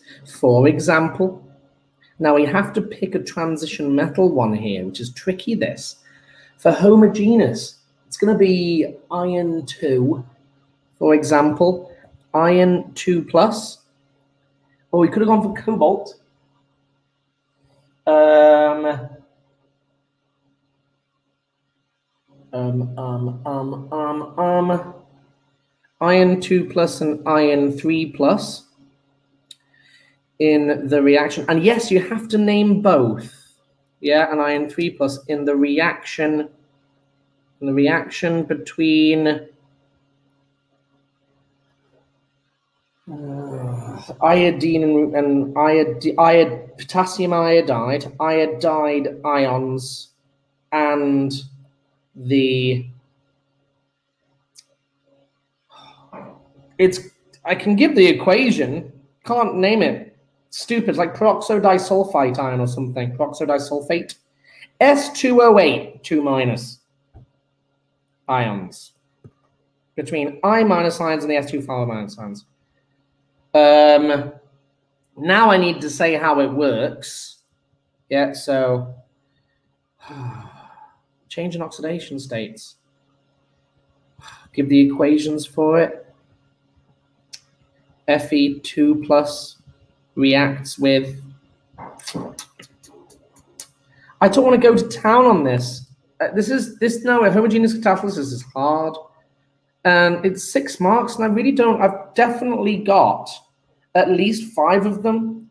I can just state um, iron Fe ions can be can be both oxidized and reduced, oxidized and reduced, and reduced. Oh, cat box. Fine. I'm going to just explain to you how I do this so I can access my knob. Uh, I was going to do the paper in the afternoon. It's probably best to do it alone first so I can access my knowledge. Assess my knowledge. Okay. So just to explain cat boxes, I designed this method. So the iodide ion reacts with the S2O8 2 minus ion to form iodine and sulfate ions. Two of them and two of those. Right, that reaction is crazy slow. It's crazy slow because both of the reactants are negative, both ions negative, so they repel each other. So what you now do is you add the transition metal in the form of iron 2 and iron 3. Either one, it doesn't matter. But you quote both when you're doing it because they are both the catalyst for the process. Yeah, let me explain now what happens is the iron 3 plus can gain an electron to form iron 2 plus. And then the iron 2 plus can give away an electron to form iron 3 plus. I call this here the cat box because it says the two equations that the transition metal can do. Now you need to identify the two equations in this reaction. So the first one is that the iodide is going to form iodine and spit out two electrons. That one there is going to, that's going to give us electrons, which means it's going to go with the equation in the cat box that gains the electrons, which is him. Then you've got the second reaction, which is the S2O8 minus sign going to form two SO4 2 minus signs. Balance the equation. This is a 2 minus charge and this is a 4 minus charge. It's going to gain electrons, two electrons on that side. Now that one has two electrons going in, which means we need the equation in the cat box that has two electrons coming out, which is this guy. Now, both of my, my reactions and the equations here require in here require on, or provide two electrons. The cat box only gives me one, so I need to double all my reaction equations in the cat box by two. Now I can combine the necessary equations to produce the overall one, which is going to be in my answer. So I'm going to have, so the iron 3 plus, so my equations will now be 2 iron 3 pluses are going to react with two iodides to form one iodine plus two Fe2 pluses. Then we're going to have two Fe2 pluses reacting with one S2O8 minus ion to form two SO4 2 minus ions plus two Fe3 three pluses, and that's why it's a catalyst, and it should all add up, and I believe it does. Yeah, what's up? Good, good, good, good. I'm moving on now at that point. What a nightmare. Section C. Oh.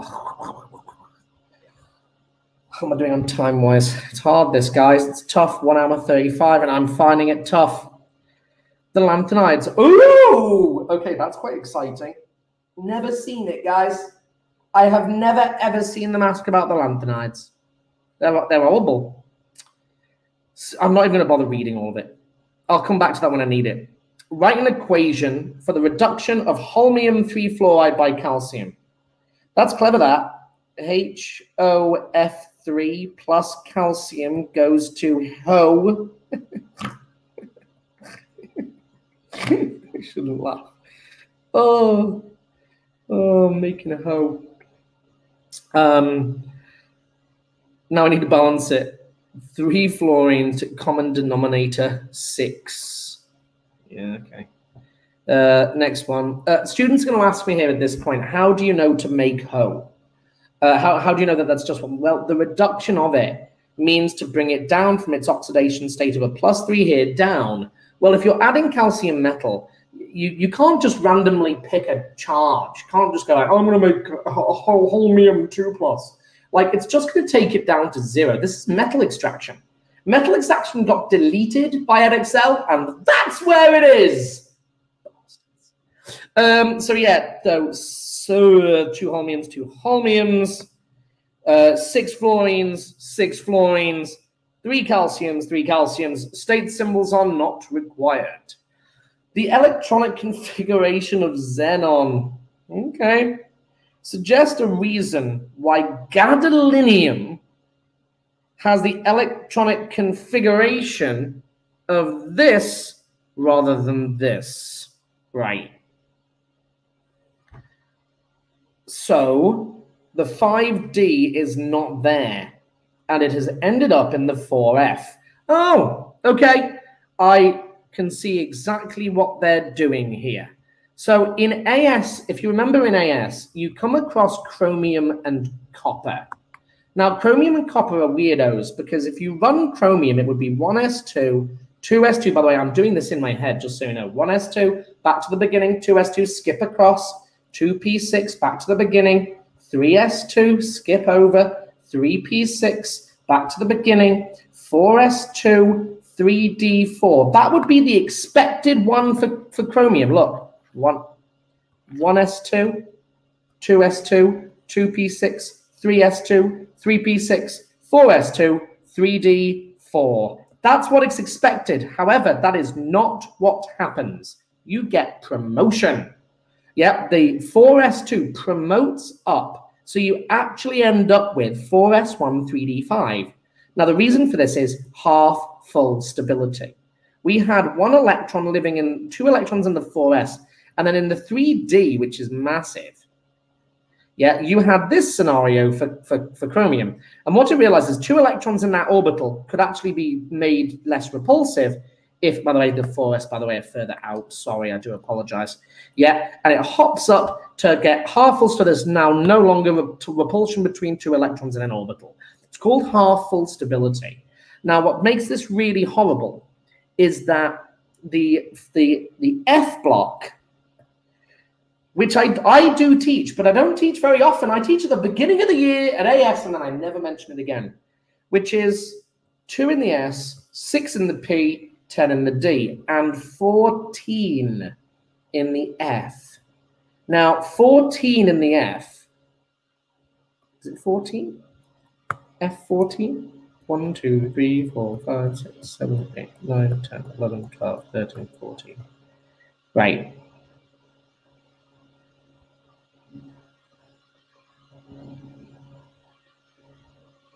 Oh, okay. Ha, that's clever. Suggest a reason why gadolinium has the electronic configuration of this rather than this. Notice it's the F so what has happened here is that one of the Fs has been promoted up to the 5D. The reason being is it gains half full stabi- stability. Because 4F8 is now half full stability for a 14 block is 7. That's stupid hard. You guys never play around with the with the, the F block because it's it's just never done. This is the first time I've ever seen this. So the reason being, suggest a reason. Um, when when Z XE 4F7 5D1 6S2, the 4F is the 4F subshell. Subshell is half full. Is half full. Brackets half full stability. Done. Moving on. Give the electron configuration of samarium 3 plus. Holy moly. Where am I? Right, now they're doing all kinds of games here, folks. They were doing all kinds of games. There's samarium. So, samarium 3 plus, what we need to find is they're going to have given examples. There's samarium. Yeah, there's samarium. So 3 plus. Oh, man. Really? Really, really, really? Oh, man. So xenon. Oh, man. It's not nice, this. Samarium. How does that compare to that xenon one? This is where I'm flicking backwards, and xenon is 4F6, 6S2. 4F6. 4F6. 4F6, 6S2. Right. I'm going. So hang on a minute. Let's just make an assumption. I, am not going to start that. I can do this much more detail, but I don't want to. That's what they've given us at the top. So let's use it. So what we're going to do is, first of all, we're going to lose those six Fs. Those, sorry, the six S. It's the furthest out. Both of those are going to disappear. And then we're going to lose one of the four F. But the question is, where's the five gone? They're writing it all kinds of strange. I don't like it. Why is the form, why is that 6S2? Oh, it hasn't started filling it yet. Yeah, okay, that's fine, guys. It is good. Just take, take run your normal process. Run your normal one. 4F5, done. That's it. Just take away three from it. The original was 4F6, 6, 6S2. Remove the first two from the largest numbers and then one from there. We're done. 3 plus. I'm done. Let's not overthink it. Explain why the ionic radius of the thulium ion is less than that of the cerium ion. thulium and cerium. Cerium, thulium. It's got more protons, way more. Cerium has 58 protons and thulium has 69 protons. I'm not going to overthink this. Uh, they're both got the same ion. Thulium, ugh, thulium has gets given number. Yeah, uh, that's got that's got 69, 50, 11 more protons. Yeah, thulium has 11 more protons protons than cerium. So electrons, so outer electrons, outer electrons have a greater attraction, have a greater attraction to the nucleus. Attraction to nucleus. I think that's very reasonable. How am I getting on for time? This seems to have gone on for a very long time. One hour 44, nowhere near finished, I don't believe. Okay, two marks, fine. Suggest a reason why the complex ion of the lanthanides can contain more ligands than those of the transition metals. They're larger. We know, yeah, look at that, look at those numbers. That we know that the reason why you can get six ligands around a transition metal ion is based on size. Um, so the lanthanides, lanthanide, lanthanide ions are larger, are larger than transition metal. transition metal. More waters can fit. Explain why solutions containing are colorless.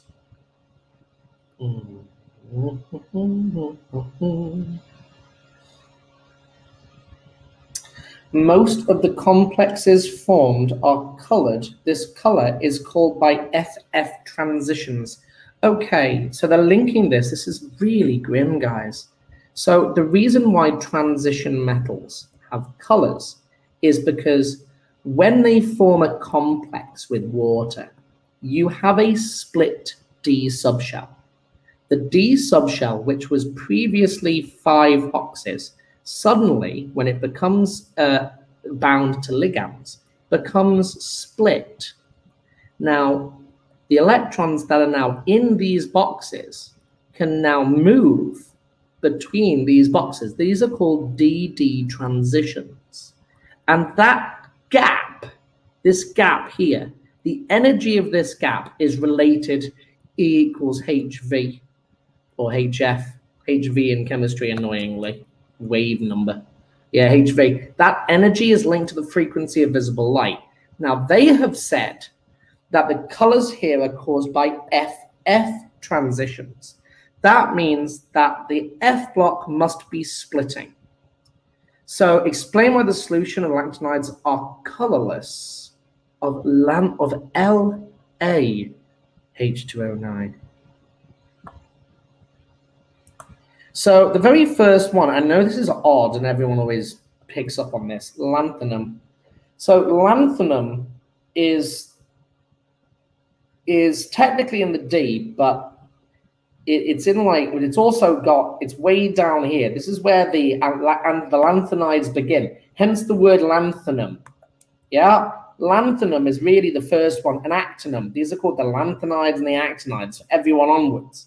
Yeah, so the reason why lanthanum, so this is the same reason as to why scandium is not colored. Yeah, scandium has no colors. Uh, the reason being is scandium forms a 3 plus with an empty D. There's nothing in the D. Well, lanthanum has got an empty F. There's nothing in it. So lanthanum 3 plus, La is so hard. I'm, I'm really making massive leaps here as to whether, I don't know whether or not these are going to be correct.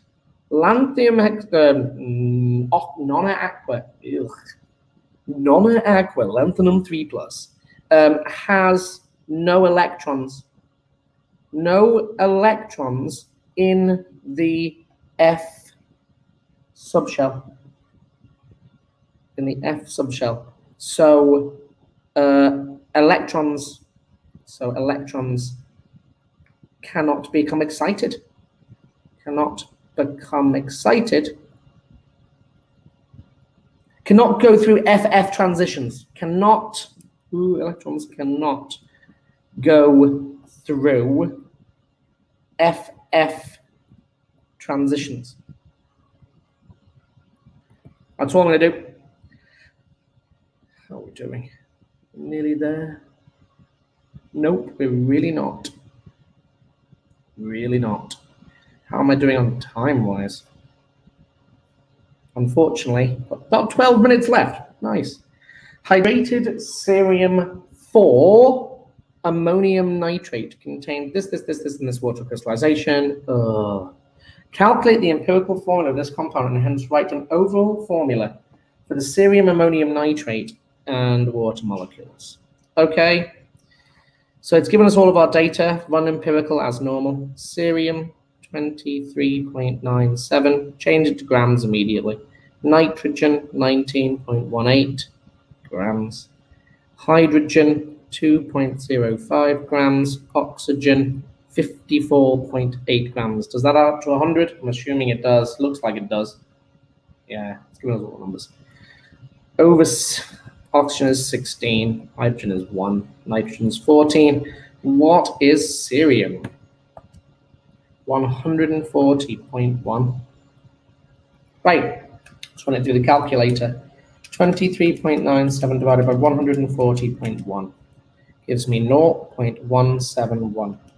19.18 divided by 14 gives me 1.37, 2.05, 54.8 divided by 16 gives me 3.425.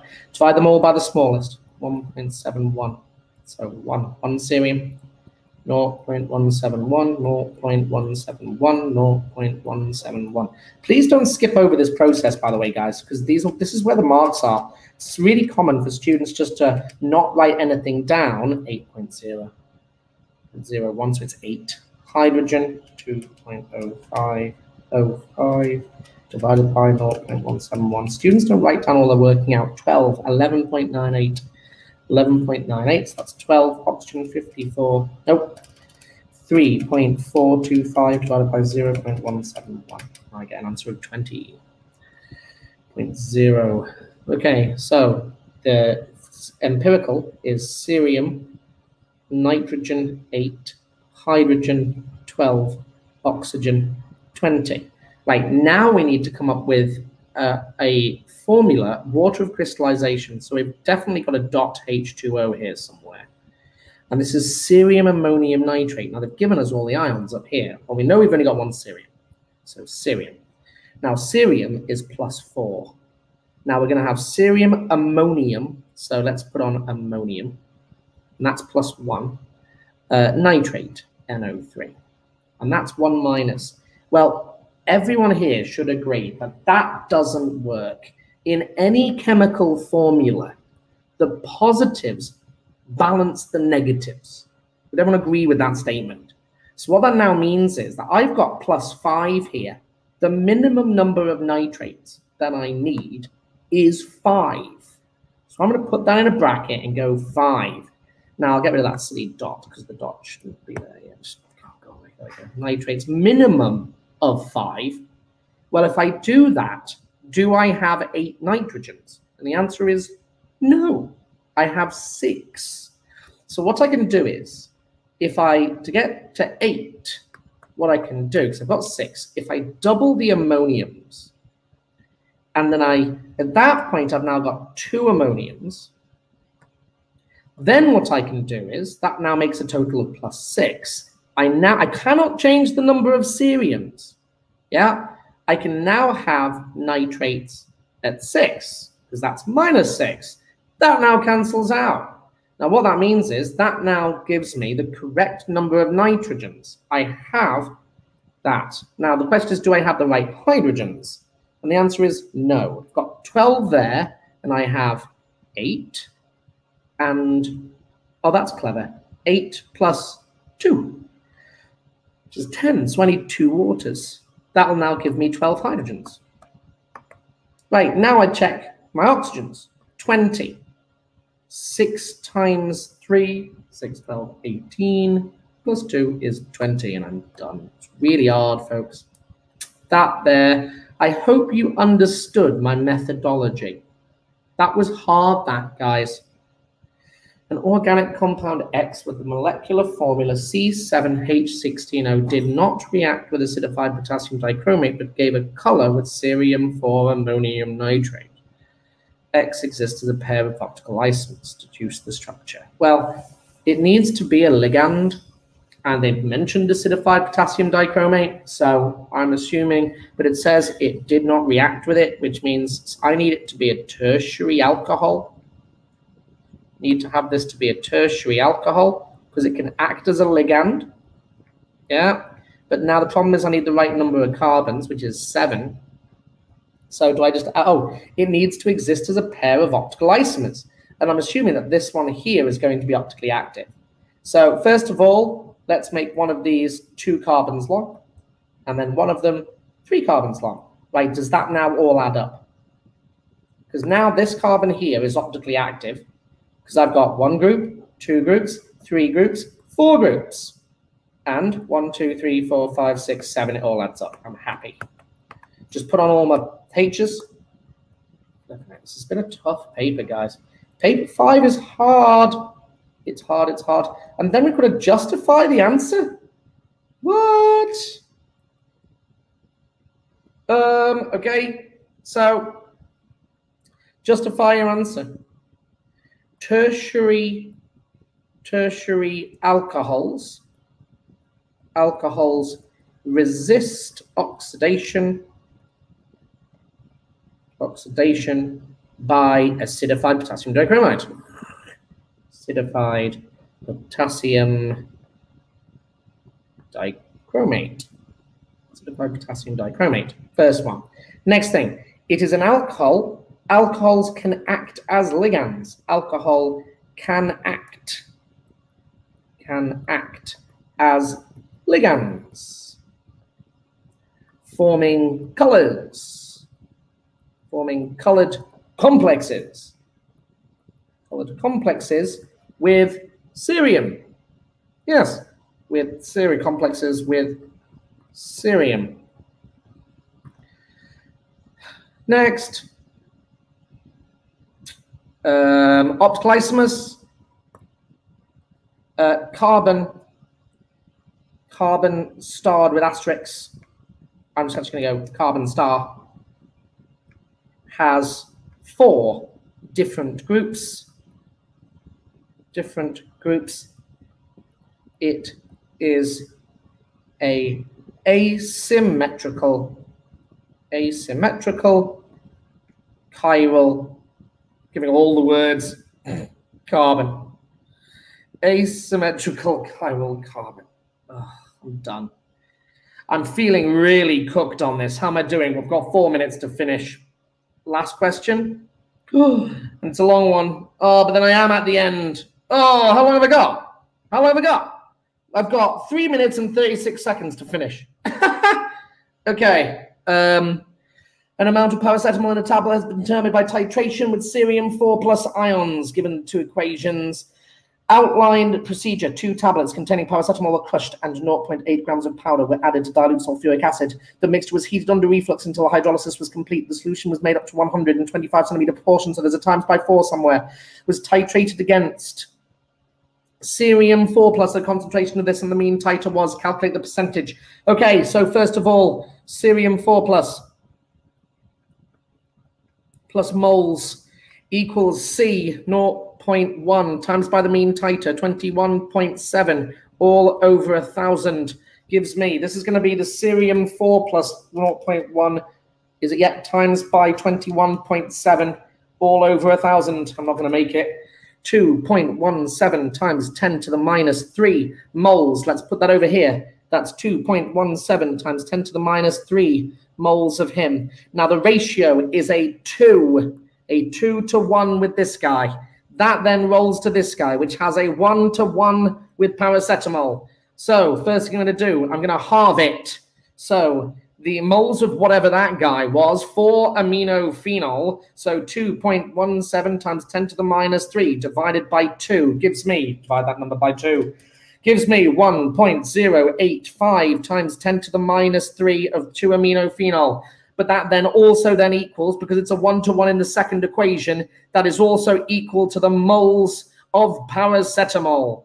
Now, paracetamol. Now, if that's the moles of paracetamol in the 25, I need to multiply this by 4. So times that answer by 4 times 4 gives me equals 4.34 times 10 to the minus 3 in 0.8 grams of it because that was the total in 100 and that contained 0.8 grams of it. Now I need to work out the MR of paracetamol. Damn it, I'm not going to make it on time. I'm going to want to, oh, I'm never going to make it. It's never going to happen.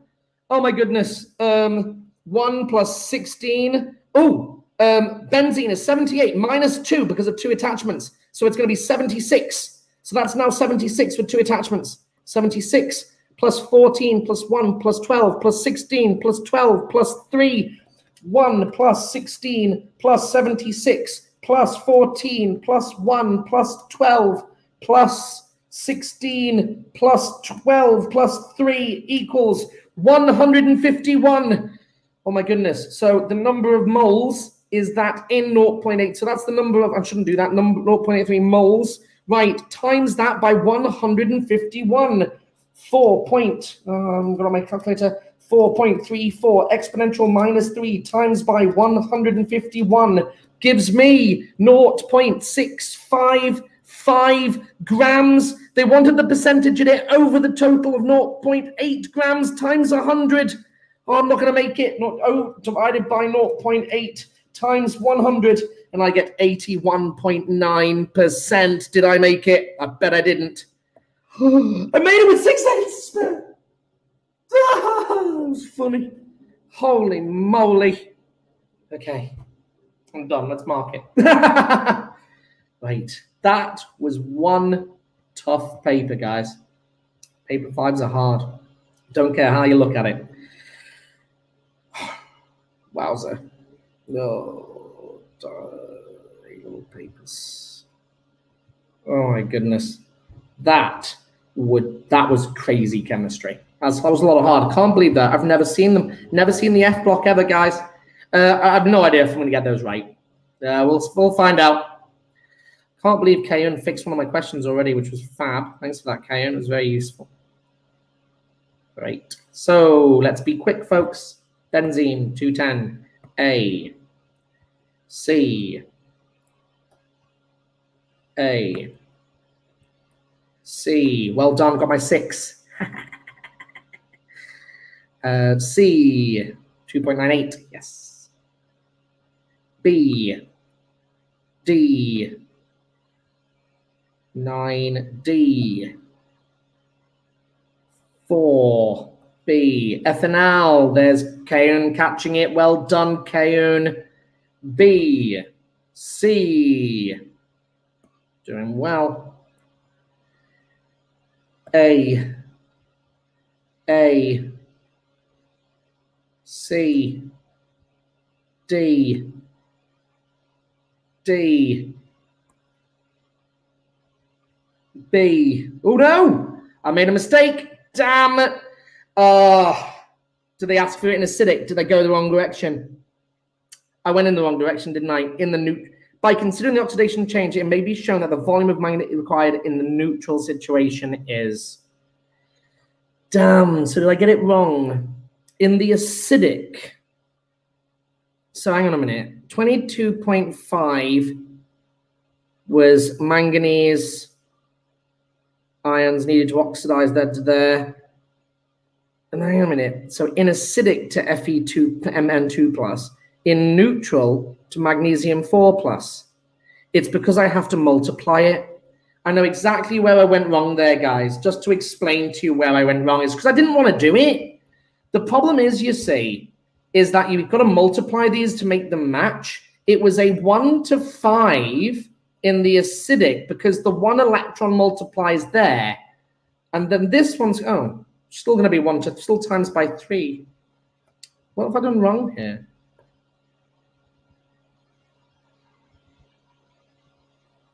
Have I just not done the maths properly? I just I've done five to three.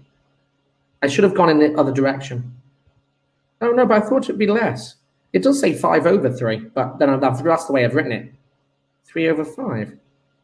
You should need less in the in the neutral. But they're saying you need more. Oh, because it's providing fewer electrons. Oh, it's hard. I'm not even getting wrapped up in it, guys. I don't care. I'm sorry. I apologize for not explaining that enough. It's been a really long webinar. I just don't want to do it. So the point being is that I, it makes total sense. What I was meant to do is, is the realization that in order, in order to change, if, if the iron three plus is becoming the iron two plus, if the iron two plus is going up to iron three plus, yeah, sorry, the correct way around. Solution of iron to. Um, yeah. So yeah, yeah. So the, the iron three plus is going to provide me with one electron. Now the manganese is going from manganese uh, seven plus plus seven to manganese four plus in the neutral. Yes, yeah.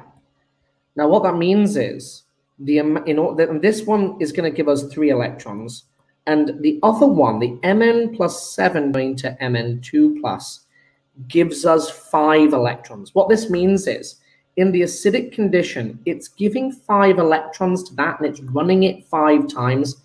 So what that means is for every one of these, for every one of these, I get to convert five of those. So I'm going to need less MN7 plus here than I do with the other one. This one's only going to provide me with three. So I only get, so instead of running this five times in this equation, in this equation, I'm only going to run it times three, which means I need to keep adding more of these before it adds up. So uh, the question is how you then get to, oh, of course you do. It's the 25 plus the, the 5 over 7. Oh, is that right? Because I took it away. Yeah, I found the 22, yeah, and I then divided it by 3 over 5. Divide it by 5, yeah, times by 2, yeah, and then add that to 20, 25. No, hang on a minute. Five, it was 22 was the solution of manganese, yeah, and then to get to 25. So what I need to do is I need to add another two fifths to it. I need another two fifths because if that five to one gives us 22 and three to one gives us, I need to add another two fifths.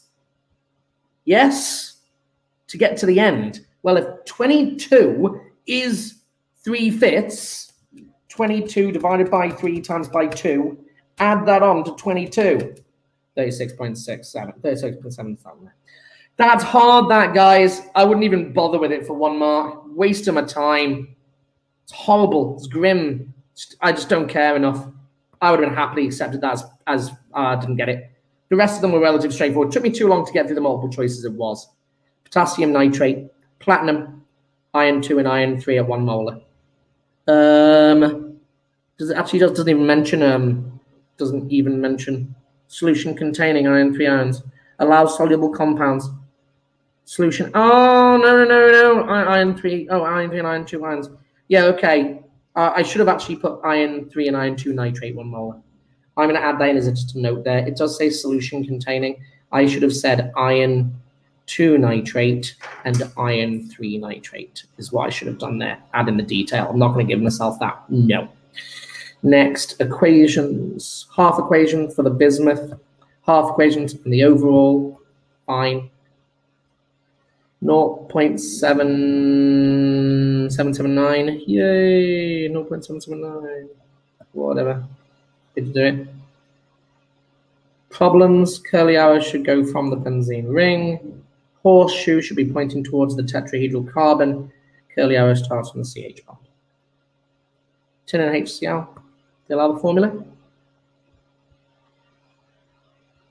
Should do. Should have said tin though. Mental note lone on nitrogen, uh, lone on nitrogen overlaps into the globalizing interacts, incorporated. I prefer mine's better. Lone pair on nitrogen less accepting of H plus. Blue precipitate. Sodium nitrite HCl and 5 degrees C. Correct structure, diol. Weird one. Nitrogen has restricted rotation.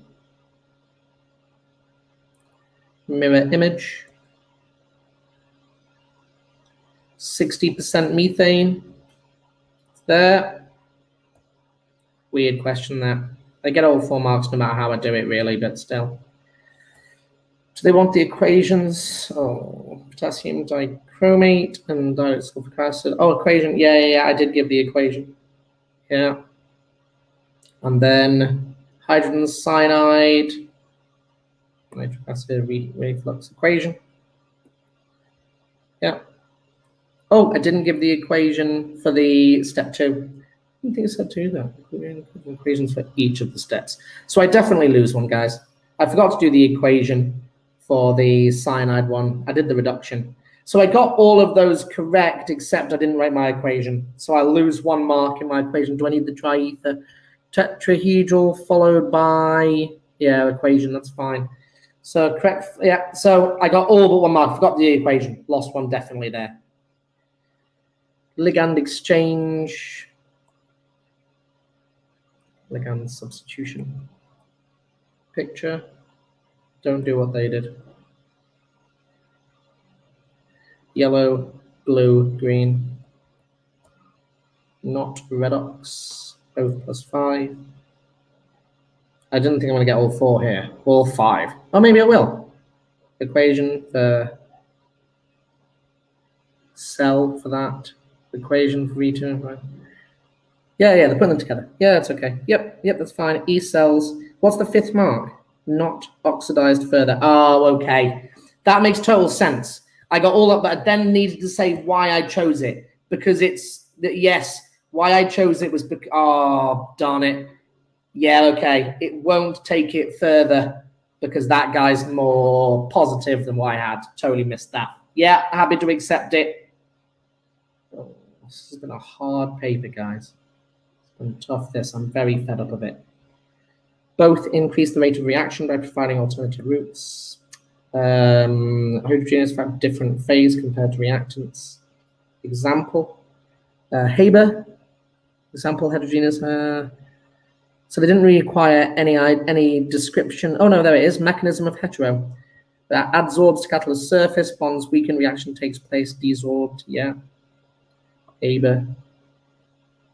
Homogeneous. What example do they give? Iron 2 and iron 3 and iodine and bisulfate ions. Yeah, same as me. That's nice. Mechanism. Do I have to give a mechanism? Correct. Uh, no, not really, but I did anyway. And I then went on to explain that nightmare. Holmium. Yep. This was a mess. Right. Um, there is extra stability associated with a half-full F sub subshell. Okay, next one, F5. Yes, thulium has 11 more protons um, in its nucleus, so there is a greater attraction to the nucleus. Fine. Lanthanides are larger than transition metals, so more space to fit on. Ligands. Explanation that there is no F electrons in the lanthanum 3 plus layer, has no electrons in the F subshell, so no FF transition can take place. Empirical. Yeah. Formula at the end. Yeah.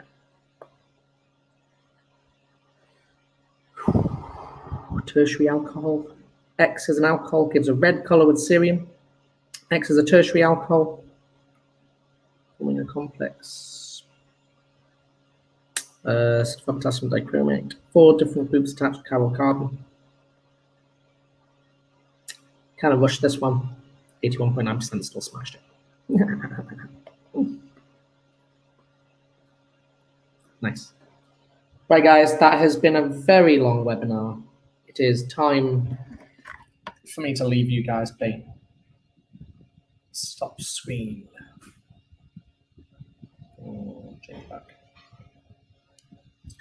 Right, guys, that has been a very, very long webinar, and I am so done for the day. Paper six, not a chance. I will see you guys tomorrow for paper six. See you later, everybody.